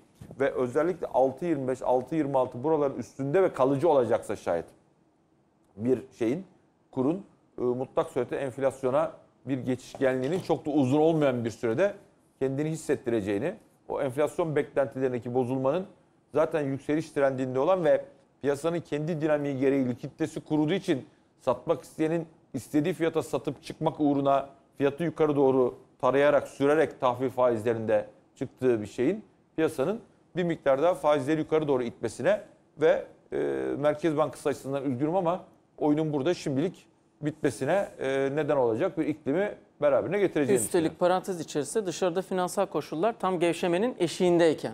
Ümit ediyorum bir de o şey yapmazlar. Tabii burada Döngüye bir tur daha katılmak istemezler. ivmeyi de artırır. Ona da geleceğim. Bir katkı O- sağlayayım. O döngü 30 saniye bile sürmeyecek. Tabii o ki. döngü 17 Mart'tan önce başlayacak. Bugün kim topa girdi? Bizim İngiltere toplantı 19 Mart'ta. O 21 mi? 19 Mart, 17-18 FED, bizim 19. 17-18 FED, biz 12 ondan ECB. sonrayız. ECB'den de çok yakında hemen söz değiştiren bir şey gelecek. Bugün topa İngiltere Merkez Bankası ve Japonya Merkez Bankası girdi. Cuma akşamı o S&P'deki 65 puanlık rally'i yaratan Powell'dı. Şimdi bunu yani koordine bir aksiyon olduğu çok net. Aynen. Bir o- konuşuyorlar aralarında o net. Konuşuyorlar yani çok net çünkü hani küresel büyüme tahminlerinin aşağı revize edildiği bir ortamda bunlar son 11 senedir bunlar dediğim merkez küresel gelişmiş ülke merkez bankaları piyasaya likidite vermek ve faiz indirmekten başka bir şey bilmiyorlar. Ve hep aynı şeyi deneyip farklı sonuç bekliyorlar. Hepsi her he- yani bu merkez bankalarından bir tanesi de ya artık şu hükümetler de bir şey yapsa ya şu Çin örneği gibi yani artık biz sürekli faiz indir yani bunun marjinal etkisi çok aşağı iniyor. Biz artık hükümetlere bir gidelim. Hükümetler bazı Ya da o para Keynesçi- politikasıyla maliye Ha. politikası bir eşgüdüm içinde yürütelim. Eşki, yani burada bir şekilde Keynesçi politikaları öne çıksın. Ya şu Almanya var. Almanya biraz hani e, şey yapsın politikada değişiklik, anayasada değişiklik yapsın, para harcamaya başlasın ya da Trump hocaya gidelim biraz hani e, köp, fazla köprü yapsın, yol yapsın filan yok. Merkez bankaları yine kendi başlarına işte İndir faizi. indir faizi, likiditeyi. likiditeyi. Ama bunu şu güne kadar dünyada bir tane doğru yapan var. Onlar da Çinliler. Geçen geçen ay koronavirüsünün o eee, şey başlangıcından sonra Şubat ayında ana endeksler içinde bir tek Çin hisse senetleri yatırımcısına kazandırdı Şubat Evet, ayında. çok enteresan. Oradan bir tek çıkmasına Çin. rağmen. Oradan çıkmasına yüzde bir dolar bazında diğer her yer dağıldı. Buyur Orkun. Ee, estağfurullah. Şöyle bir katkıda bulunayım. Ee, Forex anketi hepimiz katkıda bulunuyoruz. İşte sevgili Neslihan Köroğlu'nun hepimizden topladığı bir anket. İsmini de verelim. Ee, 18 ekonomist kurumla görüşmüş enflasyon beklentisiyle ilgili. Şubat ayında 0.67 e, medyanda bir beklenti çıkıyor. Bir de şu E, medyanı anlat. Ee, onu sen anlat. istatistik- Ya medyan şu yok gerçekten şey anlatmakta fayda ortalama dediğinde o ankete katılan herkesin beklentisi değerlendirmeye alınıyor. Ama bu pozitif tarafta da negatif tarafta da çok uç şeyler olabilir. Tahminler ya da öngörüleri olabilir. Medyan dediğin onu en uçtakileri dışarı çıkartarak hesaplanmış. Dolayısıyla o aykırı diye tanımlanabilecek belki verilerin dışarıda bırakılıp daha geneli temsil eden olması itibariyle önem arz ediyor. Ağzına sağlık. Ee, ederim. 0.67 aylık artışla da yıllık enflasyon 12.71'e geleceği çıkmış. Bir de 2020 sonu tahmini 9.65. Hala bakın 9.5-10 arasında bir şey var. Ee, kur beklentilerini de sormuş şirketlerin. 6.41 ee, dolar TL yıl sonu kapanışı çıkmış. Zaten forward kurlarda 31 Aralık günü baktığınızda 6.5'ları falan Ee, işaret bir şey ediyor. soracağım. Buyurunuz. Bu anketin yapıldığı tarih belli mi? Ee, Hanım'ın kendisinin çalışmasında. paylaştığı tweetten bakayım fikir yürütmeye çalışıyorum. 26 Şubat diyor. Ha, geçen hafta o hep öncesinde paylaşıyor çünkü Neslihan Hanım. Hayır şey yani ne zaman sordu ne zaman cevapladı Hmm. şu kur 6-15'i geçip o geçen hafta cuma etkisi var mı bu fiyatlamada ya da ta- Ben enflasyon hatırlıyorum. tarafında olmaz tabii de. 6-10-6-15 civarındaydı kur. Ben hatırlıyorum. Kur orada Bana da biraz geldi daha çünkü. yukarıda. Ee, burada mesela birkaç tane bir alttan bir üstten de rakam verelim. Ee, 1.40'larda e, pardon 1.20'de Enflasyon 1.10'da söylüyorsun. evet aylık e, birler civarında da artış bekleyen var. 0.40 0.50 civarında da bekleyen var. Bizim beklentimiz deniz yatırım olarak 0.57 işte 12.60 küsüre geliyor yıllığı. Ee, biz de yılın ilk yarısında evet çift tane ikinci yarısında tek haneye gidebileceğini düşünüyoruz. Böyle bir durum var. Ee, enflasyonla ilgili söylemek istediğin katkıda bulunmak istediğin bir şey var mı? Beklentiler, Şubat ayı. Evet. Ee, Merkez Bankamız küresel merkez bankalarının faiz indirim döngüsüne tekrar geçmesini bence bu sefer değerlendirmeyecektir. Ve bekle gör moduna geçecektir diye düşünüyorum. Çünkü şu anda kurun geldiği yerler Mert senin de dediğin gibi enflasyon beklentilerini sene sonu %8.2-8.5 bandından ortalama olarak yukarı atacak seviyede ve bu bizim en son isteyeceğimiz Tabii, şey. tabii. Çünkü şu anda İlk bozulma oradan gelirse o diğerlerini tetikler Ay zaten bizim, besler. bizim her türlü 2013 Mayıs'ından beri her türlü bozulmamız oradan geliyor. Abi ben izinle bir şey söyleyeyim mi? Buranın bizim çok kısa sürede bu kuru tekrar 6-10-6-15'leri bir getirmemiz lazım. Ki oralar herkesin ilk çeyrek ortalama beklentileri yani. Yani bu arada. 6.25, 6.26'nın çok etrafında dolanırsan en ufak bir haber akışı çıt diye yukarı atar ve o başka bir şeyi tetikler. Daha başka bir algı bozulmasına gider değil mi? Peki hazır top. Yok ışık bir şey anlatıyor diye pardon. kesiyor. Yok Pardon, ben pardon. e, yani ben bu sefer e, Orkun'un söylediği bir çok güzel bir tema olan küresel merkez bankalarının koordine likidite operasyonları ve faiz indirim döngüsünde Merkez Bankamız 1275 bas puanla devam ettirdiği faiz indirim döngüsüne hadi kardeş buradan biz de devam edelim der mi? Bence demez. İ- İzninle Az bir bile şey oldu. düzelteyim. Bence demez. İzninle bir şey düzelteyim. 1325 o artık. 1275 değil. 1375 değil mi? 1200 de geldi. Bir 75 yaptı. 1275. Bir de 50 yaptı. 1320. 1325. Bak düşün artık biz bile. Evet, ben, Artık ben karıştırır pardon ben olmuşuz. 1325 24'ten 1320 bir kaç 1075 tamam. Yani e, ben o konuda katılmıyorum çünkü e, iki tane ana ana yerimizde Mars ufak da olsa ufak da olsa problemler göstermeye başladı. Enflasyon beklentileri ve CDS. CDS CDS'imiz jeopolitikle alakalı. Onu onu net söylememiz lazım. Ama bak sana bir şey söyleyeyim mi? Ama onu da onu da Sayın Uysal ve kurmayları CDS'e de inanılmaz dikkat ediyorlar ve bu toplamda emin ol emin ol 10 yıllık gösterge tahvil faiz %12.7 kapanış. Bu CDS kaç gösteriyor? Ben bugün baktım. CDS 197 gösteriyor. 197 bas puan olmalı CDS en son buralardayken 12.7. E şimdi senin CDS'in nerede? Neredeyse 380 iki- 200 bas puan üstünde neredeyse. Evet. 200 bas puan üzerinde. Şimdi Merkez Bankası kurmayları da bunun farkında. Olmamamız gereken bir yerdeyiz. Ya onun için sen şimdi burada bir kademe daha merke, e, faiz indirim döngüsü yapıp yani hani bankacılık sistemindeki faizler zaten gelebileceği yere şu anda enflasyon beklentileriyle geldi. Yani hangi Ve o amaca hedefler tutacak beklentisiyle bu buralara geldi. geldi. Önden buralara geldi bir de. Önden Aynen. yüklemeli diye Sayın Uysal Yani o zaten enflasyon beklenti abi kusura bakma ya, çok Tamam, sözüm yok ama bu o önemli ya, enflasyon bu önemli. beklentilerindeki bozulma bankacılık sektörünün zarar yazmasına neden olabilecek bir hikaye bir de. Yani onun için burada ben Orkun'un söz ettiği ana temanın bir numaralı soru işareti olacağını ve bizi eee, zaten artık doğru düzgün arayan yabancı kurumsal yatırımcı kalmadı bu ülkede ama yani yatırımcıların hala bunlara bakan yatırımcıların bunu fiyatlamalar içine alacaklarını düşünüyorum. Hem CDS hem enflasyon beklentisi bana küresel ne olursa olsun burada Merkez Bankamız bekle göre geçeceği gösteriyor. Yani Ya şunu unutmamak lazım. Yani benim düşüncem bu. Eğer 5 Mart'taki toplantıda Sayın Cumhurbaşkanı ile Putin'in görüşmesinden piyasanın istediği sonuç çıksa bile Çıksa bile. ve piyasa buna ikna olsa bile o CDS bakın o 240'lara 250'lere gelmeyecek. Daha yukarı seyredecek. Bu iş böyledir çünkü yani. yani bir de zaman Aşağı alacak gelir- gelse bile. Tabii. Yani öğrendik artık bunu. Aynen öyle. Yaşayarak gördük. Ha, gelmeyecek derken gelir canım ama yani bir şey, valör yersin orada. Herkesten çok arzu ediyorsun canım yani sen de gelmesini. Onun için onun için Pentagon ile görüşmelerin başlaması ve F-35 programına geri alınmamız lazım. CDS'lerin tekrar oraya düşmesi için. Yani işte o, o, o senaryoda öbür tarafta Rusya ile başka bir senaryoyu O- beraberinde tamam, getiriyor. o O, da başka, başka- bir risk tabii. Evet o başka senaryo riskini ben göze alarak söylüyorum. Yani ben oraları ancak o olursa diyorum. Yani burada sürekli yabancı yatırımcı diyoruz. Ee, bunu yani piyasanın içerisinde belirli kurumlarda çalışan, temsil eden insanlar olarak hani gördüğümüzü anlatmaya çalışıyor. Biz bu program başladığımızda e, devlet iç borçlanma senedi, DIPS'in içerisindeki yabancı payı burada biz ilk programda konuştuk. %10'un aşağısına geldi. Bakın burası sıkıntı ve yabancı yatırımcı muhtemelen burayı satmaya devam edecek. Faiz gerilese de diyorduk. Geçen haftaki verilere göre Merkez Bankası açıkladı 8.8. Yani 9'un da aşağısına geldik. Ve muazzam bir satış var. Yani yılbaşından beri 3 milyar dolar para çıktı eee, kayıtlı ve bunun 2.1 milyar doları repo dahil dips kalemine. Yani bu çok önemli. Ve bu kadar likiditenin de kurmuş olduğu Evet. yerde bu kadar satış. Ve faizler gerilerken de büyük Evet. kısmını sattılar bu arada. Ee, bu glo- global merkez bankaları siyasetçi kısmında biraz önce sen çok güzel anlatıyordun. Ee, bölmeyeyim dedim böyle tam tadında anlatırken.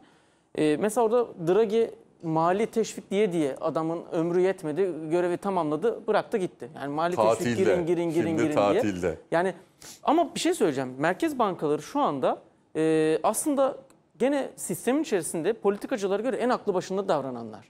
Yani geçen yıl FED niye faiz indirdi diye bütün dünya tartışırken e, onun peşine 2-3 ay sonra ISM verilerinin nasıl daralmaya başladığını gördük. Yani yine bu adamlar ölçüyor, biçiyor, analitik davranmaya çalışıyor. Bir miktar piyasanın nabzına da bakıyor, algıya da bakıyor, gündeme de bakıyor. Buna göre adım atmaya çalışıyorlar. Yani bu kapsamda da değerlendirmek lazım. Politikacılar tarafından hiçbir şey atı- adım atılmadığı için, bekledikleri için e, politik taraftaki hesap muhasebe yapıldığı için iş bir yerde e, gün sonunda enkaz merkez bankalarına kalıyor. O nedenle bugün merkez bankaları e, koordine bir şekilde adım atmaya çalışıyorlar. Tabii burada Şubat ayında biz 75 mi indirdik? 50 mi indirdik merkez? Ocak'ta 75 Şubat'ta 50. Şubat'ta 50 indirdik. Şimdi bu ortamda biz bunu konuşurken Merkez Bankası durur muyu tartışıyorsak bir dönüp geriye de bakmakta fayda var kanaatindeyim. Neden? Şimdi 50 bas puan indirdiğimiz faiz, politika faizi normal faizlere ne kadar geçişkenlik yaptı? Geçen hafta konuştuk. Ne ya, işe yaradı? Ne, faydası oldu ya? Hiçbir faydası olmadı. Hatta Kredi mevduat faizleri ne bir miktar yaradı? yukarı gitti. Üstelik dünya bu kadar şeyken. Ki indirdikleri dönemde de bu bir miktar gerginlik vardı. O- Yani çok daha az bir hasarla da belki bu işin içinden çıkabilirdik. Valla Ama bak şeye kadar ya 1275'e kadar yani Ocak'taki 75'e kadar hiçbir şey söylemem. Ha şunu söylerim. Ben olsaydım bir alan bırakıp kendime buralarda kullanmak üzere bırakırdım. Yani tamam örneklemek istiyorum. 1200 değil 1000 indirdim. 200'ü cebime koyup burada yavaş yavaş yedire yedire onu kullanabilirim. Bu tamamen tercihim ama 1200'e kadar laf etmem. 1275'e de laf etmem. Ama o 50 puana hakikaten takıldım yani. Evet. Kesinlikle aynı Ona ben de kanaatteyim. Belli ki bak 2020'nin başlangıcında herkesin fikrindeki e, ana tema şuydu. Bu yıl faiz artmaz global koşullarda. Bir sonraki tek hamle olabi- tek hane olabilir konuştuk burada zaten. Yok yok global koşullardan bahsediyorum. Bir kafamızı kalkıp dışarı baktığımızda herkes şunu söylüyordu iyi kötü. Bu yıl faiz artmaz. Bir sonraki faiz hamlesi eğer gelirse de aşağı yönde gelir. Aynen. Dediğin gibi marjımı ben koruyayım. İstediğim şekilde yine önden yüklemeli gidebilirdim. Şimdi bak Mart'ta Nisan'da bu FED faiz indirir miyi konuşuyoruz değil mi? Tabii. 25 mi yapar? Yapmazsa tek seferde 50 bas puan mı yapar? Koskoca FED bunca zaman sonra bir daha faiz indirecekse tek bir adımla bırakmayacak. Ya aşikar. O ki. da bir döngüye girecek. Sen de bekler. bu arada kullanabilirdin. Yani öyle de bir imkanın olabilirdi. Ee, bir küçük hemen Türk TL varlıkları toparlayalım yoksa eklemek istediğiniz bir şey var mı? Borsada seviye, işte kurda seviye. Valla ben izin verirsem birkaç cümle söyleyeyim. Estağfurullah. Yani özellikle işte Amerikan piyasaları şu anda gayet iyi performans göstermiş gibi gözüküyor. Öyle devam ederse öyle kalacağı varsayımıyla. İşte bizde Erdoğan-Putin görüşmesinin olumlu sonuçlanacağı beklentisi e, bizi tekrar yarın en azından bugün gördüğümüz seviyeler 109-109,5'lara doğru belki bir yerde bir açılış yapmamıza fırsat verir. 110.400'de bir gap var galiba. Değil mi Işık? Sen daha iyi bilirsin o seviyeyi. Düştüğündeki gap. Evet, evet, evet. Yani orayı bir kapama iştahı olacaktır. Ee, şahsi olarak beklentim şöyle isterim yani 110 bin üstüne atmasını ve orada tutunmasını. Ya bu birkaç günlük hareketin bir ihlal olarak kalmasını. Ama 110 bin altındaki her hareket bizi 106 bin 600'e ki galiba bugün en düşük gördüğü yerlerden bir tanesi orası oldu. O da 106 200. bin- Evet, işte 106 bin oralar çalıştı. İşte 103.300 var falan ama hani çok 110 binlerin üstünde kalmak benim açımdan çok rahatsız etmez ama şimdilik özellikle bu koronavirüs hikayesiyle falan filan ve senin demin az önce çok güzel temas ettiğin gibi hani bu faizlerdeki yükseliş bunun bu yükselişin devam edebileceğine ya da en azından buralarda korunabileceğine ilişkin beklenti ister istemez yıl sonu için gösterdiğimiz o işte ortalaması 150 bin diyebileceğimiz endeks seviyeleri bir miktar aşağı doğru önümüzdeki dönemde törpülememize neden olabilir. Bunları gözlemleyeceğiz. Şimdi, şimdi Mert bir de şöyle bir şey var. Yatırımcıların kaçırdığı şeylerden biri. Borsa İstanbul eee, o kadar enteresan bir endeks ki dolar TL yukarı gittiği zaman hedef fiyatı artan bir endeks. Aynen öyle. Şimdi bu insanların normalde hani Kur bunu- yükselirken borsanın düşmesi gerekir. Evet, beklentisi. evet. Şimdi bu böyle bir şey yok. Tamam? O tam tersi şimdi. Ben insanlara şöyle söyleyeyim. Bizim borsamızdaki yüksek ağırlıklı hisselerden dolar TL yukarı gittiği zaman mesela bir kurumun FX stratejisi yani Işık Ök'te 6.40'tan dolar TL tahminini atıyorum 6.70'e revize ettiği zaman hisse senedi modellerinde 2020-2021 için hisse senedi net işte o hani net karlılık oranları falan çıkar ya. Onların yükseldiği çok hisse var. Ereğli Demir Çelik, Tüpraş, Kozalar. Yani bunlar hani Endekste ağırlığı olan. e, bankalar düşerken bankalar bankalar düşerken hedef fiyat revizyonları aşağı olurken bankacılık sektör dışı yüksek mesela şu anda sanayi sektörün bankacılık sektörüne karşı öyle bir negatif ayrışması var ki bankaların sanayiye karşı 2013 Mayıs'ından beri 7. defa böyle bir sert negatif ayrışma görüyoruz. Yani teknik indikatörlere bakınca. E şimdi sınai yani dolar TL'nin bu yukarı hareketinde bizim anlamamız gereken hedef fiyat revizyonları aşağı olmayabilir. Evet. Ama senin bir anda 10 yıllık dips faizin CDS'in. %10'dan 13'e CDS'in 250'lerden 400'lere çıkacaksa ve kalıcı olacaksa o zaman senin e, risksiz faiz oranın %13-14'lerde kalamaz.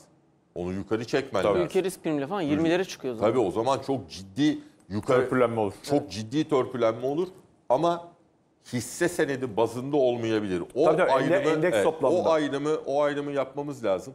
Ben o gap'i kapama seviyesi şimdi 21 Ocak 2020 günü Borsa İstanbul 100 ana endeksi 121 123.300 ana e, tarihi zirve kapanış yaptı. 21 Ocak'tan beri yükselen trend içinde aşağı hareketteyiz.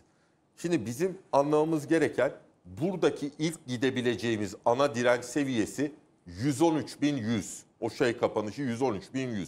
Eğer bu rakamları e, doğru görüyorsam yani bugünkü kapanışımızdan e, yani 5800 pu- puan yaklaşık falan- 6000 puan 6000 demek. al- 6000 diyelim. Çok önemli bir çok önemli bir hedef potansiyeli teknik analiz olarak vermiyor. Ama senin dediğin gibi burada insanlar o 99 bine çok takılmış durumdalar. Abi 99 bine ben yani bugün mal almak isteyenleri Tabii ki abi şu anda yani dünyada oynaklık oranları es, koca S&P'nin yüzde bir buçuk eksiden yüzde 2.8 artıya geçtiği bir dönemden geçiyoruz. İnsanları da anlıyorum. Herkesin eli titrek. Tabii canım. Ama yani böyle zamanlarda atıyorum Borsa İstanbul ağırlığını 100 liralık portföyünde 30 lira mı yapmak istiyorsun kardeş? O 30 liranın dörtte biriyle mal al. Yani çünkü piyasanın aşağısını yukarısını bilemezsin. Yani Ama seçtiğin hisseyi bugün biraz al. Kimse almıyor ve ana, ana nedenini de söyleyeyim. Sen çok güzel demin Orkun'la da E şimdi bakıyor. Daha ucuzunu Sayın- mu bekliyor? Hayır Sayın Cumhurbaşkanımızın Putin'le görüşmesi var. Perşembeyi bekleyeceğim ben diyor. Şimdi değil mi? Orada bir orada bir Orayı büyük bir göreyim önce. Orada büyük bir olay riski var. Bizim yani piyasalarda olay riski dediğimiz şey. Şimdi bence yani o görüşmeye kadar bak kardeş S&P %2.8 şu anda yukarıda. E şimdi Viop'ta bizim Viop'ta da artık akşam seansımız başladı. Viop da gidiyor. 1000 puan hemen bunu Tepkisini de- verdi. Şimdi sen bugün almadın. Yarın sabah hisse gap'li açıldı. Şimdi oradan belki psikolojik olarak Aa abi bu kaçıyor diye daha yüksek maliyette alacaksın. O işler yani hisse senedinde olayı işte dediğin gibi hani bütün kurşunu aynı yerden atmama olayı vardır ya yani insanlara öğretilen. Yani biraz al. Yani sen çünkü en yukarıyı ve e, dipi Bulamazsın. bulamazsın. O Böyle grafik bir şey yok. oluştuktan Öyle- sonra görürsün Evet. ancak onu. Ya Keşke da, alsaydım, ya da, keşke ya da şu satsaydım. korkuyla ya abi cuma cuma sabahı açılış 99 bin kötü şeyler olursa oraya gideriz. Hayır kardeşim cuma sabahı açılış 99 bin değil. Öyle bir rakam hiç oluşmamalıydı. O demin anlattığım ne yazık ki Viop'taki 6 tane büyük hissenin kontratlarının panik şekilde negatif teminata dönmesinden satışlardan oluştu. Ama ben e, Orkun'un sorduğu soruya yukarıda nerelere bu hafta iyi olursa gidebiliriz 113.300 seviyesi benim bakacağım e, ilk e, önemli e, direnç olacaktır yukarıda. 28 Şubat günü endeksin açılış seviyesi 99.000 değil cümlene %100 katılıyorum. Değil abi. Çünkü Değil. zaten gün içi ortalama grafiğe baktığınızda 105-106 bine oturdu. Evet. Yani aslında endeks o gün 4000 eksi- eksi 4000-4500 puan açtı. Aynen öyle.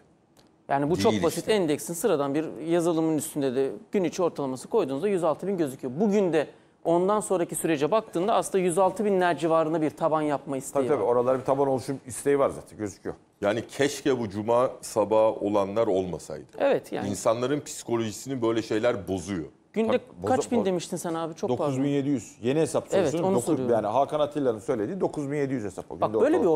ortamdan biz bu insanlara yani biz de e, sektör temsilcisi olarak ve inandıklarımızı anlatmaya çalışan insanlar olarak dedik ki bakın biz Türk varlıklarına inanıyoruz. Endekste böyle böyle bir hikaye var. Biz bunları anlattık. Şimdi buraya bu kadar günde 9700 hesabını 9000 hesap diyelim.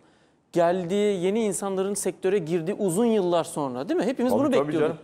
Bir Bir ortamda meslek hayatın başında olmuştu bir de sonunda oluyor neredeyse işte. yok daha Ya hepimiz abi dur inşallah Allah sağlık verirse gidecek yolumuz var. İnşallah. Yani ve böyle bir ortamda bu kadar oynaklığı biz insanlara anlatamayız ve bu bu kadar oynaklığın olmasına da gerek yok. Tamam mı ya bu bir hak. Hakikaten yani burada bir hak geçer. Bu kadar insanın girdiği noktada. O yüzden çok daha dikkatli herkesin elini taşın altına sokup adım atması lazım. doğru. Hepimizin çok daha dikkatli konuşması lazım. Burada 120 bin endekste de e, hisse senedi alan insan var. Belki 106 binde belki 100 binde de alan var Cuma günü. Yani bu insanları da yani kötü günde de yanında olup konuşmak lazım. Anlatmak lazım. Neden bu fiyatların düştüğünü anlatmak lazım. Söylemek lazım. Öyle değil mi? Yani sadece yukarıdayken Ya anlatmak abiciğim, bu- gerekmiyor. Bu, insan ilişkisinde de böyledir. Yani iyi günde yanında olmakla kötü günde yanında olmak birbirinden ayrı hikayelerdir. Yani kurumlar da bu noktada Ha farklılaşıyor. şimdi bu bunun bir kısmı ya hiçbir aracı kurumun araştırma bölümünün öngörebileceği bir şey değil. Ya şöyle bir şey var mı abi? Bizim kurumun araştırma bölümü bu koronavirüs hikayesini biliyordu vallahi. Biz ona göre fiyatlamıştık, alma demiştik. Yani bir tane Yok ben açıkçası bu kadar büyüyeceğini beklemiyordum. Kalktım Ha- Dünya Gazetesi'nde yazdım zaten Tamam, ya. yani bunu, bunu Ben SARS gibi olacağını bekliyordum. Yanıldım, Hayır, hayır, en ba- yanıldım bu Abi konuda. filmi- SARS gibi bekliyordum. Abi filmi en baştan sardı. Yani koronavirüs hikayesinin çıkacağını biz biliyorduk. Tamam mı? ve dolayısıyla yatırımcılar pozisyon almayın dedik diye. Biri olursa ben masadan kalkar giderim dalga mı geçiyorsun benimle diye. İşin, Hayır. işin böyle yayılması başka Zay- hikaye. Zaytung açıklaması olur. 20 sene sonra hala sektörde konuşulur o açıklama yani. Yapma örnek alıp şimdi ben tahmin etmiştim diyenler çıkar falan. Ya vardır zaten muhtemelen de. İnşallah, inşallah yoktur diyelim. Devam edelim abi. Sektör bize neler gösterdi be Işık'cığım. İkincisi hani jeopolitik risk. Evet orada bir gerginlik var. Türkiye-Rusya arasında işte Suriye politikası falan ama hani hikayenin buraya kadar gelmesini beklemek çok şey değil. Ama şunu söyleyeyim Işık demin çok güzel anlattı ama hani şey gibi tartışma programları gibi birbirimizin üstüne konuşmayalım diye durdum. Küçük yatırımcının bir kere şunu çok iyi anlaması ve öğrenmesi lazım. Grafik oluştuktan sonra o fiyattan alsaydım, bu fiyattan da satsaydım öyle bir muhabbet yok. Tamam mı? Alacaksan tuş orada basacaksın, alacaksın. Satacaksan tuş orada basacaksın, satacaksın. Grafik oluştuktan sonra ya da işte efendim X hisse senedini değil de Y hisse senedini alsaydım param %30 yukarı giderdi. Herkesin bu işin kuralı çok basit kardeşim. Bu piyasaya kendin işlem yapmaya geliyorsan önce duyuma değil bilgiye dayalı iş yapacaksın ve bir pozisyonu aldığında buradan ne kadar yüzde kaç para kazanma isteğini olduğunu ortaya koyacaksın ve yüzde kaçta stop loss'ta bu oyundan bu pozisyondan çıkacağın adını koyacaksın. Diyeceksin ki benim aldığım hisse yüzde on aşağı gelirse ben gözünün yaşına bakmam gerekçesi satarım. Yüzde on zararla çıkarım. Ya da diyeceksin ki ben 10 lir- 100 liradan aldım bu hisse senedini. Yüzde 25 karı bulduğum yere satarım. Benden sonra alan kazansın. Ama bizde böyle olmuyor. 125'e geliyor. "Cık, Baba dur ya bu gidecek galiba kopacakmış. Ben bunu 140'a revize edeyim diyor. En büyük hata ne? Aşağı geldikçe alma isteği. O yani Ortalama paçal. Trade'in yani yapılmaması gereken ender hareketlerinden biri. Ya aşağı gelirken paçallamak diye bir şey yoktur ya. Ya paçallamak da dinleyenlere hani şey hani ortalamayı düşürmek için işte 10 liradan almış bir miktar. Fiyat aşağı gelmiş 9'dan alıyor. Fiyat aşağı gelmiş 8'den alıyor. Yetmiyor. Aracı kurumdan kredi talep ediyor. O krediyle alıyor. O 7'ye 6'ya geliyor. Sonra bir bakıyorsun kucağında bu kadar mal var. Sonra bu şirket Ona- temettü ma- veriyor mu ma- diye ma- soruyor. maliyet 8,5 lira, kağıt gelmiş 5,5 liraya. Ondan sonra arıyor ben ne yapayım diye. Öyle bir şey yok. Yani her, yayının başına söyleyeyim mi? Herkes kendi riskini kendi kontrol etmeyi öğrenecek. Bilmeyen, yapamayan, beceremeyen bu ayıp bir şey değil ya. Herkes trader olmaz kardeşim hayatta Ya ya. dedik ya, herkes, herkes beyin cerrahı olabiliyor mu kardeşim yani? Yani bu, bu işi yapan, fon yöneten insanlar var. Tamam, o- Adamın işi bu. Hayır, O zaman götüreceksin paranı güvendiğin bir kez daha atıfta bulun. Tefassat analiz edeceksin, Tabii. bakacaksın. Evet. Geçmiş döneme. Ha şunu da söyleyeyim bak bu da bir yanılsamaya neden olacak. Piyasa o kadar hızlı ve iyi gitti ki herkesin fonu para kazandı. Evet. Başarılı portföy yöneticisi şimdi çıkacak ortalara. Yani bu aşağı gelişte ne kadar koruyabilmiş hepsi para kaybetmiştir doğal olarak. Özellikle yani hisse ağırlıklı pozisyon taşıyanlar ama hani görece ne kadar kendini koruyabilmiş. Şimdi hani dalgalı denizde kaptanlığı anlaşılır denir ya orada bir daha göreceğiz. Ama geçen yılki yükselişte de aramızda konuştuğumuz için söylüyorum. Şirket adı vermeyeceğiz tabii ki. Senin de bildiğin çok iyi yönetilen Tabii, ayrışan tabii, tabii, fonlar da tabii, vardı tabii, birkaç tabii. tane. Tabii, tabii. Yani hakikaten o arkadaşların da eline sağlık. Bir de bir de Mert çok az konuşulan ama benim kariyerimin başından beri uygulamayı üstadlarım tarafından öğrendiğim hisse senedi tarafında bir tane trading trading portföyün olacak. o günlük değişen hani be, o çoğu insan onu Viyop'ta da nakitte de istediği tarafta tutar.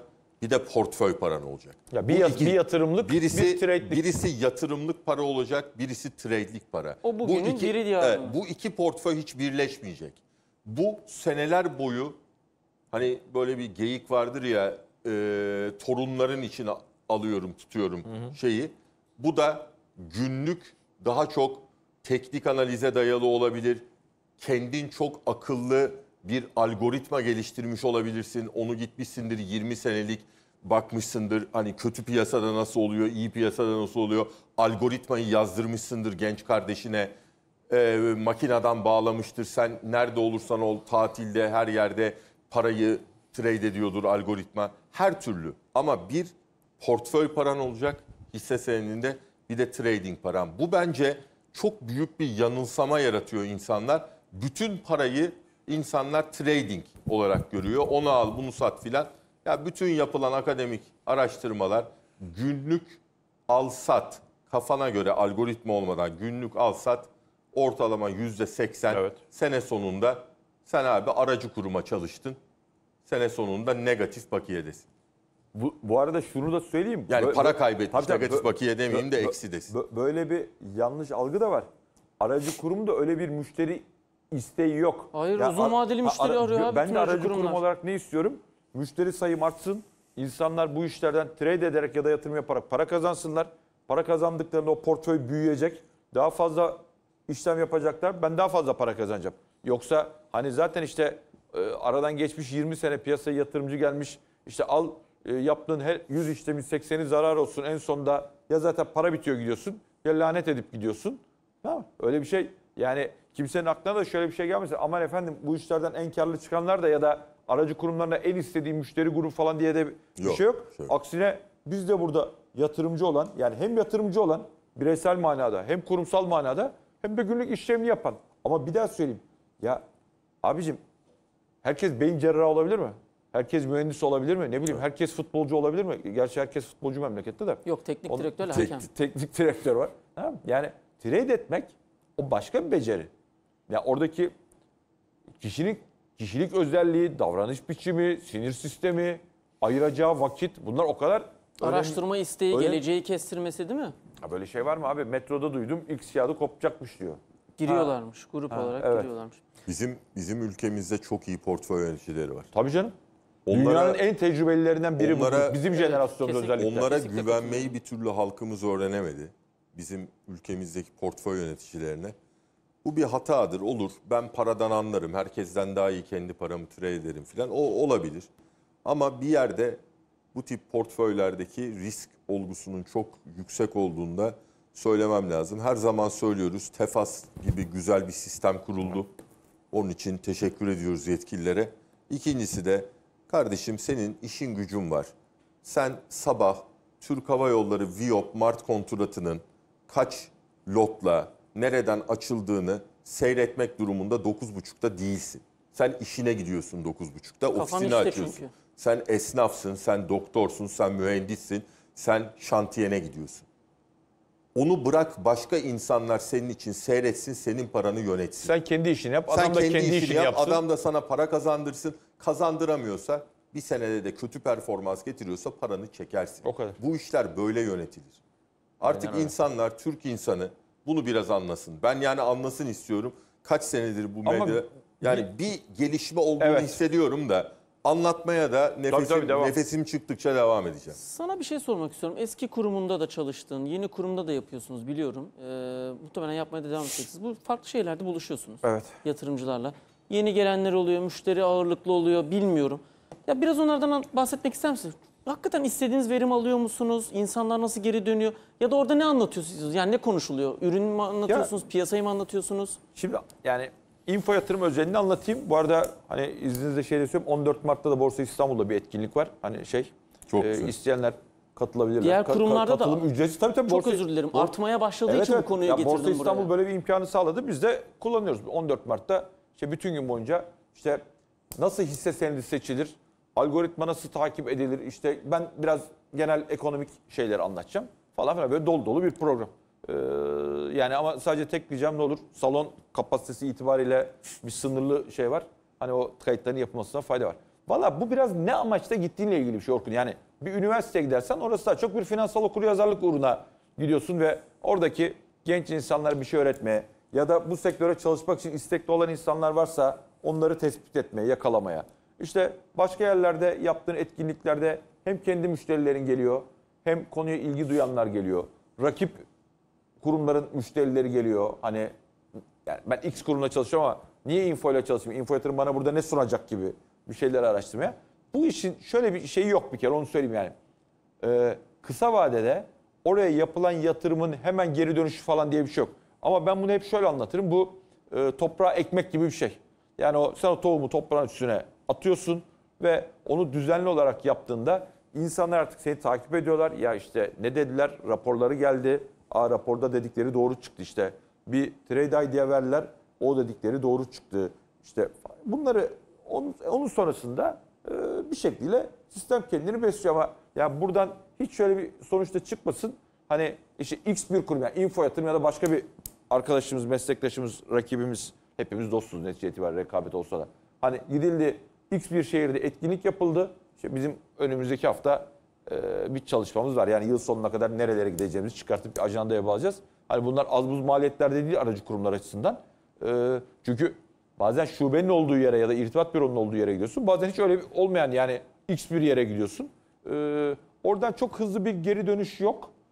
Ama önemli olan yani biz info yatırım olarak derdimiz şu, amacımız şu. Mümkün olduğu kadar hani yatırımcı sayısını arttırmak. Çünkü e, ya şöyle söyleyeyim size sayı olarak söylemeyeyim. Bizim bugün itibariyle bünyemizde bulunan toplam müşteri sayısının yaklaşık %65'i 70'i günlük tuşa basıyor. Aktif. Evet.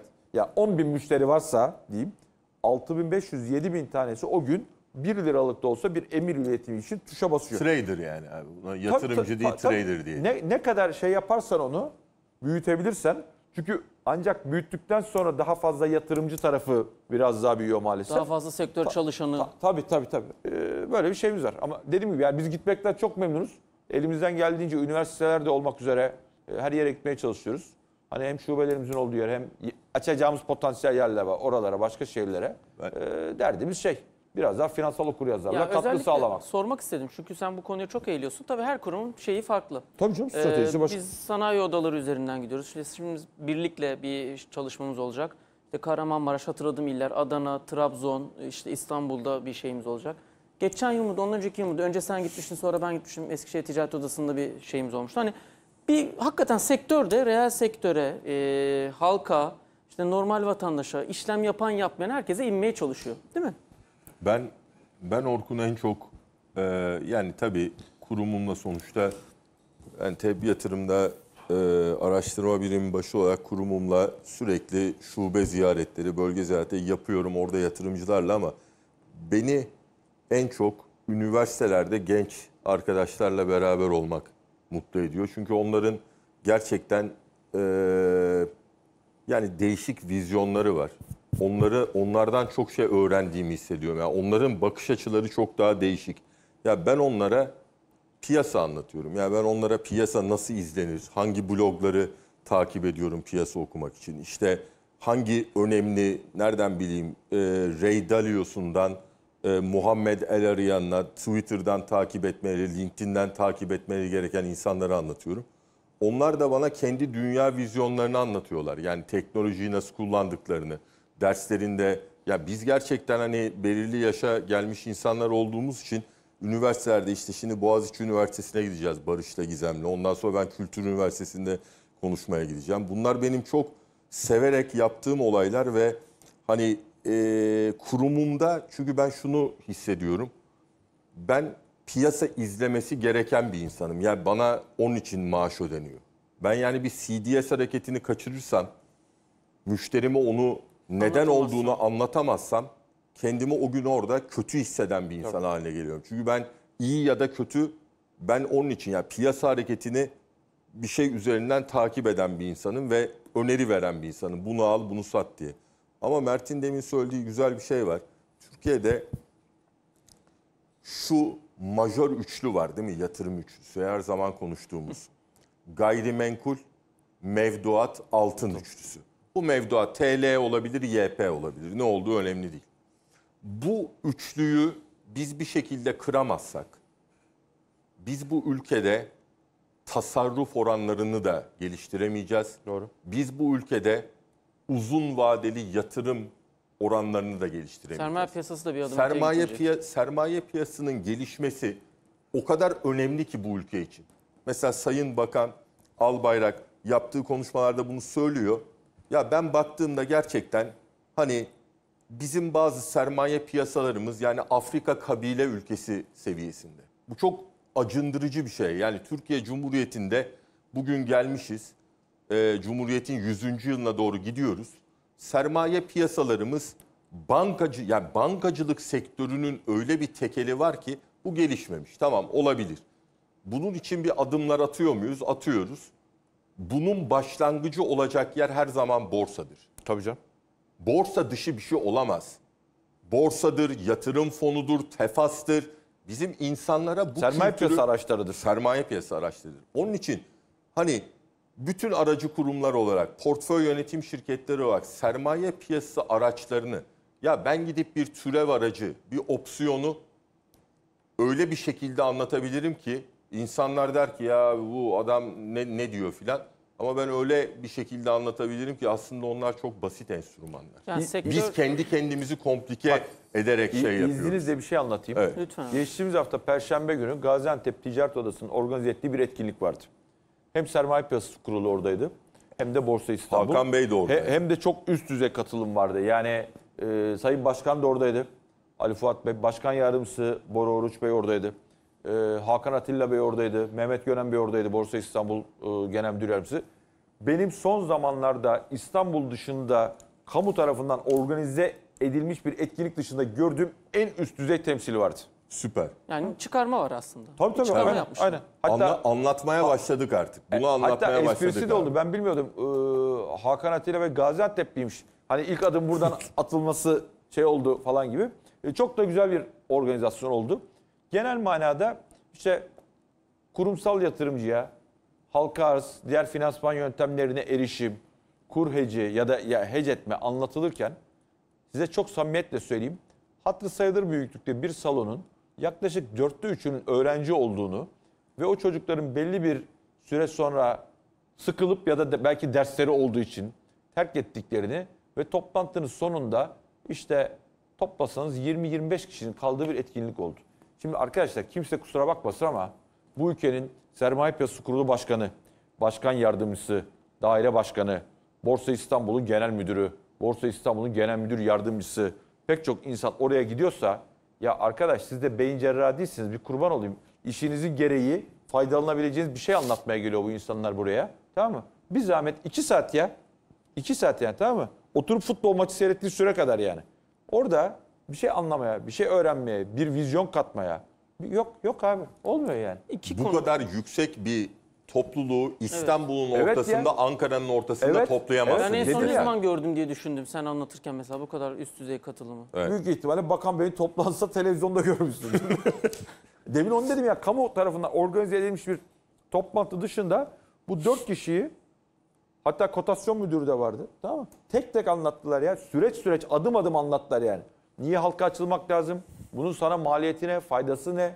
Ne götürür? Ne götürür? Ya en sonunda kalanların zaten bir kısmı da ticaret odasının üyeleri ve meclis üyeleri büyük ihtimalle arka sırada onların şirketlerinin genel müdürleri ve CFO'ları zaten yani. İki konuya Ha, biz değinmek bu, çok affedersin biz buradan info yatırıma kalktık.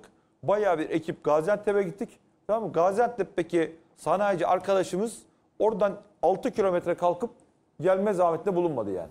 Ya o nedenle zaten halka arzlarda sıkıntı yaşıyoruz ya anlatmakta. O yüzden aile şirketleriyle hala devam ediyoruz. Ya gel bir dinle de sonra gene açılmıyorsan Sen açılmaz yine ya. karar verirsin değil mi? İki konu bence bu önemli bu noktada. Bir tanesi e, sektör kendi çalışanını kendi içerisinden çıkarmalı. E, bu önemli. E, yani ben mesela İMKB öğrenci, o zaman İMKB'de oldu. İMKB öğrenci programında staj yapmış bir adam. Aracı kurumlarda hep staj yapmaya çalışıyor. Kulakları çınlasın yani ilk müdürüm de izliyorsa hala da görüşürüm. Bir tanesi de aslında senin dediğin biraz tersi olacak ama belki de kitleler de farklı olmuş olabilir. E, Baki Demirel Hoca'yı biliyorsunuz Evet. Yalova Üniversitesi'nden. Ee, beni Yalova Üniversitesi'ne çağırmıştı. Ee, işte bir sunum yaptık. Arkadaşlarla sohbet ettik. Çok enteresan bak. Yani orada bir, bir buçuk saatlik dönem şey dilimin içerisinde soru cevap yaptık. Çok yüksek bir katılım vardı. Yurt dışı soruldu, yurt içi soruldu ve hep o bizim kendi aramızda yaptığımız espri bir kere bile dolar ne olur diye sorulmadı. Ve ben o gün çok Çünkü umutlanmıştım. adam öğrenci parası yok ya. Ya ama bu O ciddi söylüyorum, ondan vizyondan sonra- da bahsediyorum. Yani a- insanlar tabii. dışarıyı falan da sordular o gün. Ve ben çok umutlanmıştım ya. Hakikaten sizler bu sektöre gelin, girin. Ee, götürün, daha ileriye taşıyın Ya diye. sevgili kardeşim illa bir insanın bir üniversite mezunu gencin gelip finans sektörüne çalışmasına gerek yok. Neticede bir kurumda da çalışacaksa oranın finans bölümünde şey, sonra kariyerini geliştirip kendini gelip orada CFO'luk da yapacaksa bu ürünlerin hepsinin Tabii, tabii. varlığından ve nasıl kullanıldığına haberdar olması lazım. Doğru söylüyorsun. Bir de bir de bizim çok basit dünyada kurulu olan bir gerçeği Türkiye'de anlamamız lazım. Türkiye'de şöyle bir bakış açısı var. Ee, özellikle e, çalışan kesimde e, ben bu bakış açısını görüyorum. Yani şey e, hani para trade eden onu onu alan bunu satan hani günlük böyle şey yapan değil. E, uzun vadeli e, çok şeye takılmış durumdalar. Uzun vadeli borsa endeksinin dolar bazındaki grafiği değil mi? 2013 zirvesi kaç? 5 sent. Beş, Evet, beş. Şu anda 5.1 sent. neredeyiz? 1.7 sent. Üçte biri. Üçte bir. Şimdi buraya takılıp uzun vadeli borsa yatırımı yapılmaz diye bir kafaya takıntıya Türk insanında ben inanılmaz şahit oluyorum. Çünkü bu insanlar bana geliyorlar. Diyorlar ki Işık abi ben portföy hissesi istiyorum. Uzun vadeli yazıyorsun işte hani e, bizim beğendiğimiz hisseler var. Günlük bültende yayınlıyoruz. İşte müşterilere gönderiyoruz. O hisse arasında seçtiklerimiz var. O an için beğenmediklerimiz oluyor ve söylüyoruz. Burada en büyük endişenin Türk insanında bu dolar bazlı borsa İstanbul grafiği. Çünkü hatırlarsın 2012 dördüncü çeyreğinde Fitch bizi yatırım yapılabilir kategoriye çıkarttı. 5.1 Oradan gördük. oradan biz abi 3,5 sentten bir uçuşla 5.1 sente Bernanke günü Gezi Parkı olayları oradan tık 2018 kur krizinde 1.3 sent. 12 ayda 50 milyar dolar portföy yatırımı girdi o yıl ülkeye. Evet. Yani ben her zaman söyledim Türkiye'yi haritada gösteremeyecek hedge foncular o ara o o o ara Türkiye'ye girdi. Şimdi insanlara tabii başka bir yönden anlattığın zaman bak hocam kardeş sen borsa endeksine para koymuyorsun. Sen hisse senedine yatırım yapıyorsun. İnsanlar bak bu ikiliyi çözdükleri zaman bence böyle çok önemli bir şeye gelecekler. Borsa endeksine yatırım yapmak değil. Ma- Mayıs 2003'te borsayı oraya kimler çıkarmıştı? Bankalar. Evet. Bankalar değil mi? Tabii, Ex-bank tabii. dediğim. Tabii, tabii. bankalar. Oradan ne düşürdü borsayı? Bir, Bankalar. bir nok yine bankalar. Peki bu yükselişte Sen- banka var mesela 93 binden 125 bine giderken orası başka bir Ha, yap şeyle şimdi gitti. onun için o kadar sen- çok şey değişiyor ki. Mert mesela Orkun Deniz Yatırım, sen info yatırım yatırımcısına bak kardeşim sen borsa endeksi satın almıyorsun. X, Y, Z hisselerini satın alıp kendine bir portföy yapıyorsun. Bak biz 2020 senesi için şunları beğeniyoruz. Bunlarda net kar oranlarını şu görüyoruz filan diye anlattığın zaman birebir anlıyor. Ama bunları anlattığın zaman anlıyor. Yoksa Borsa İstanbul'u iyi bir yatırım olarak görmüyor. Gayrimenkulü görüyor, altını görüyor. Altın neden? 10 senede %560 gram altın para kazandırmış adama. Mesela gayrimenkulü nasıl iyi bir yatırım görüyor Türk insanı bilmiyorum. Orada biraz sosyolojik şeyler var. 2016'nın birinci çeyreğinden beri her çeyrek para kaybettirmiş bir yatırımdan bahsediyoruz. Özür dilerim bu arada yani inşaat ve GEO'cu kardeşlerime bu gerçeği söylemek istedim. Onlar da Şimdi- biliyordur zaten. Ha, ya. onlar biliyordur ne yazık ki. Yani, yani olabilir. Bundan sonra inşallah o da yükseliş trenine girer. Ama söylemeye çalıştığım Borsa İstanbul'daki kafa yapısı o dolar bazlı borsa endeksine endekslenmiş. Onu değiştirmek lazım. Kardeşim sen hisse senedi, sektörel yatırım yapıyorsun. Yani Bu kadar. o dolar iskontosu kapanmaz. Bunu çok aramızda da tartışıyoruz. Kolay kolay kapanmaz diyelim. Neden? Ya TL'nin çok ciddi bir değer kazanması lazım ya endeksin çok ciddi yukarıya gitmesi lazım. TL'nin çok ciddi bir değer kazan, Nasıl kazanamayacağını ya da kim hatta kazanacak burada gün şey, sonunda? Yani öyle bir iklim ortaya çıksa bile ekonomi yönetimi öyle bir şey artık istemediğinde hesaba kattığında Öyle bir birinci varsayım iskontonun zaten kapanması yok. ortadan kalkıyor Yok. otomatikman. Son 5 dakika. E, ons altı konuşalım bir miktar. Cuma günü çok sert bir hareket oldu. Riskten kaçış e, fiyatlamasıyla dolar endeksi 100 sınırına kadar gelirken ons altında yukarı gitti. E, daha sonra diğer varlıklardaki ciddi alımlar, Amerikan 10 yıllığının 1'e yaklaşması ki yani hakikaten şaka gibi rakamlar burası. %2 hala büyüyecek gibi bir 2 yıllık kaç? 0.9 Sıfıra, sıfıra geldi yani. Evet. Sıfır diyelim kabaca. Bu ortamda e, oynaklığın Dow Jones'ta 1000 puan olduğu bir ortamda ons altın hareketini yaptı. Biz geçen hafta burada sağlıklı olması için yılın geri kalanı için 1600'ler civarına çekilmesi çok da iyi olur uzun vadeli yatırımcı için demiştik. E, yani bizim bu öngörümüz bir miktar daha tahminimiz kısa vadede gerçekleşti ama 96 dolar düştü. Evet. Orkun Neden? 4 4 işlem yürüdü. neden? Ben hemen bir gerekçe sunup sana bırakayım. Margin call hikayesi diyeyim sen gerisini getir abi. Orkun 1445'ten Kasım'ın 3. haftasında 1689'a çıkan ons altın 96 dolar düşünce niye kimse şaşırıyor ki? Yani bir günde hareketin ya. ha, hayır, 4 işlem günü oldu. 1445, 1689, son işlem 1593. Yani burada bu Bank of International Settlements olabilir. Açılan uzun pozisyonların senin dediğin gibi kontratların dönüşü.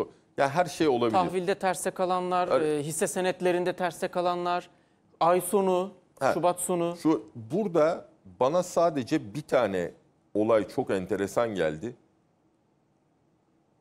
Altında parada olanlar cash yaratmak için altını satmış olabilirler mi?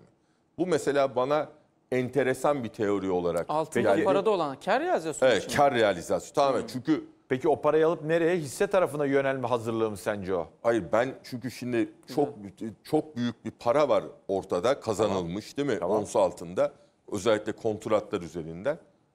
Bu parayı şimdi sürekli hissede para kaybediyor. Tamam. Sürekli hissede teminat tamamlama çağrısı yiyor. E kardeş bir yerde adam bir adam pozisyonlarını. S&P 600 puan düşerken satma niyetinde değil. Bir yerden para yaratması lazım. Yani bir aslında enstrüman değişikliği değil de Evet. nakit yaratma, teminat tamamlama Tamam. için Bu- cebine Evet. silah koyma, Bak mermi bu, koyma bu şeyi. mesela çok önemli bir teori. Bunu, Olabilir. e, bunu bir şey yazmıştı. e, bloglardan birinde galiba e, şey A- Alfa'da mı? Alfa'da, Seeking Alpha'da olabilir. Bu mesela çok önemli bir teori çünkü hisse senetlerinde öyle bir şey hani böyle büyüyen çığ etkisi var ki kayıplarda özellikle S&P ve Nasdaq vadelilerde yani şimdi bizim Viop teminat bazı insanlara pahalı gözükebilir ama S&P ve Nasdaq vadeliler Tabii canım. E, yanında e, şey kürdan parası. E, Valla kapanışı yaptı diye, e, hayırlı yani, olsun. yani şey onun için bu altındaki satış bak çok enteresan bir teori ki biraz inanıyorum. Bilmiyorum. Olabilir- o kadar, olabilir bu. O kadar akıllı değilim bunları anlayacak kadar ama böyle bir nakit yaratma çabası da olabilir. Abi aynı şeyi normalde işte swap üzerinden yabancının burada bono satarak, Tabii. hisse satarak TL Aynı- yaratma aynı şey. örnek. Aynı, Ex-Bank- aynı hikaye işte. Ex-Bank satışları sen Mart'ın Yatırımcı son davranış her haftası- yerde aynıdır yani. Sen Mart'ın son hafta swap şeyini kapattın. Değil mi? Yatırımcının ilk sattığı ne oldu? Hisse Parada, paradaki bankacılık hisseleri oldu bu kadar. Birer cümlede e, yani son bir iki dakika Euro doları konuşalım. E, Euro dolarda söz hakkım olduğunu düşünüyorum. Sen- yani bu- sen başla çok lütfen. üzülüyorum. Çok Şimdi- üzülüyorum. Şimdi dedim. şöyle yapalım. Ee, kendine soruyu sor, kendin cevapla, sorayım, programı kapat, Kapat. sonra gidelim. Biz de Peki. el sallayalım. Peki tamam öyle yapalım. Euro dolar da ben en çok geçen hafta da Kameraya bakarak söylemiştim. anlat ama. Sohbet ediyoruz burada. ben en çok Avrupa'ya ve Euro dolara üzülüyorum demiştim. Ee, 1.08'ler bu kadar karmaşanın içerisinde İtalya'daki bu koronavirüs hikayesi falan çıkarken kısa vade dibi gibi gözüküyor. Çok önemli iki eşik olan bir tanesi 1.10.50 bir tanesi o 1.11.20'yi geçtik. Ee, Direkt bir V hareket oldu ya. Evet. Muazzam hızla Ama yani. düşerken de kimsenin bek- yani ben Evet. beklemiyordum mesela bu kadar sert bir şey. Ee, ben 1.12'lerde e, dolara geçmek için insanların artık e, pozisyon arayacağını düşünüyorum. Teknik Ama olarak biraz daha üstü gözüküyor sanki Evet ya. tam onu bir virgül düşecektim. Orada bir dolar endeksine de tekrar bakmak lazım. Sanki 97 97 97 buçuk arası bir yerden dolar endeksi de bir hareket yapıp şey yapacak gibi. Ee, bir toparlama yapacak gibi duruyor. Diyelim Ee, burada tamamlayayım. Süre bitmiş çünkü. Ağzına sağlık. Çok teşekkür Ben ediyorum. teşekkür ederim. Haftaya Teşekkür görüşmek ederim. üzere. Çok Ağzına sağlık. hu- huzur dolu bir hafta olsun Evet lütfen Türkiye artık için. bu hafta Artık Yeter hakikaten üzülmesin. sıkıldık yani. evet bu haber akışı güzel olsun. Perşembe günkü toplantıdan istediğimiz güzel bir sonuç gelsin ve Pazartesi biraz daha keyifli bir yayın yapalım. biraz Lütfen. böyle biraz böyle kalbimiz acıyarak değil daha güzel bir yayın yapalım. Çok teşekkürler Ben Orkun. teşekkür ederim. Çok teşekkürler Mert. Ben bizden bu kadar. Haftaya görüşmek üzere. İyi akşamlar diliyoruz.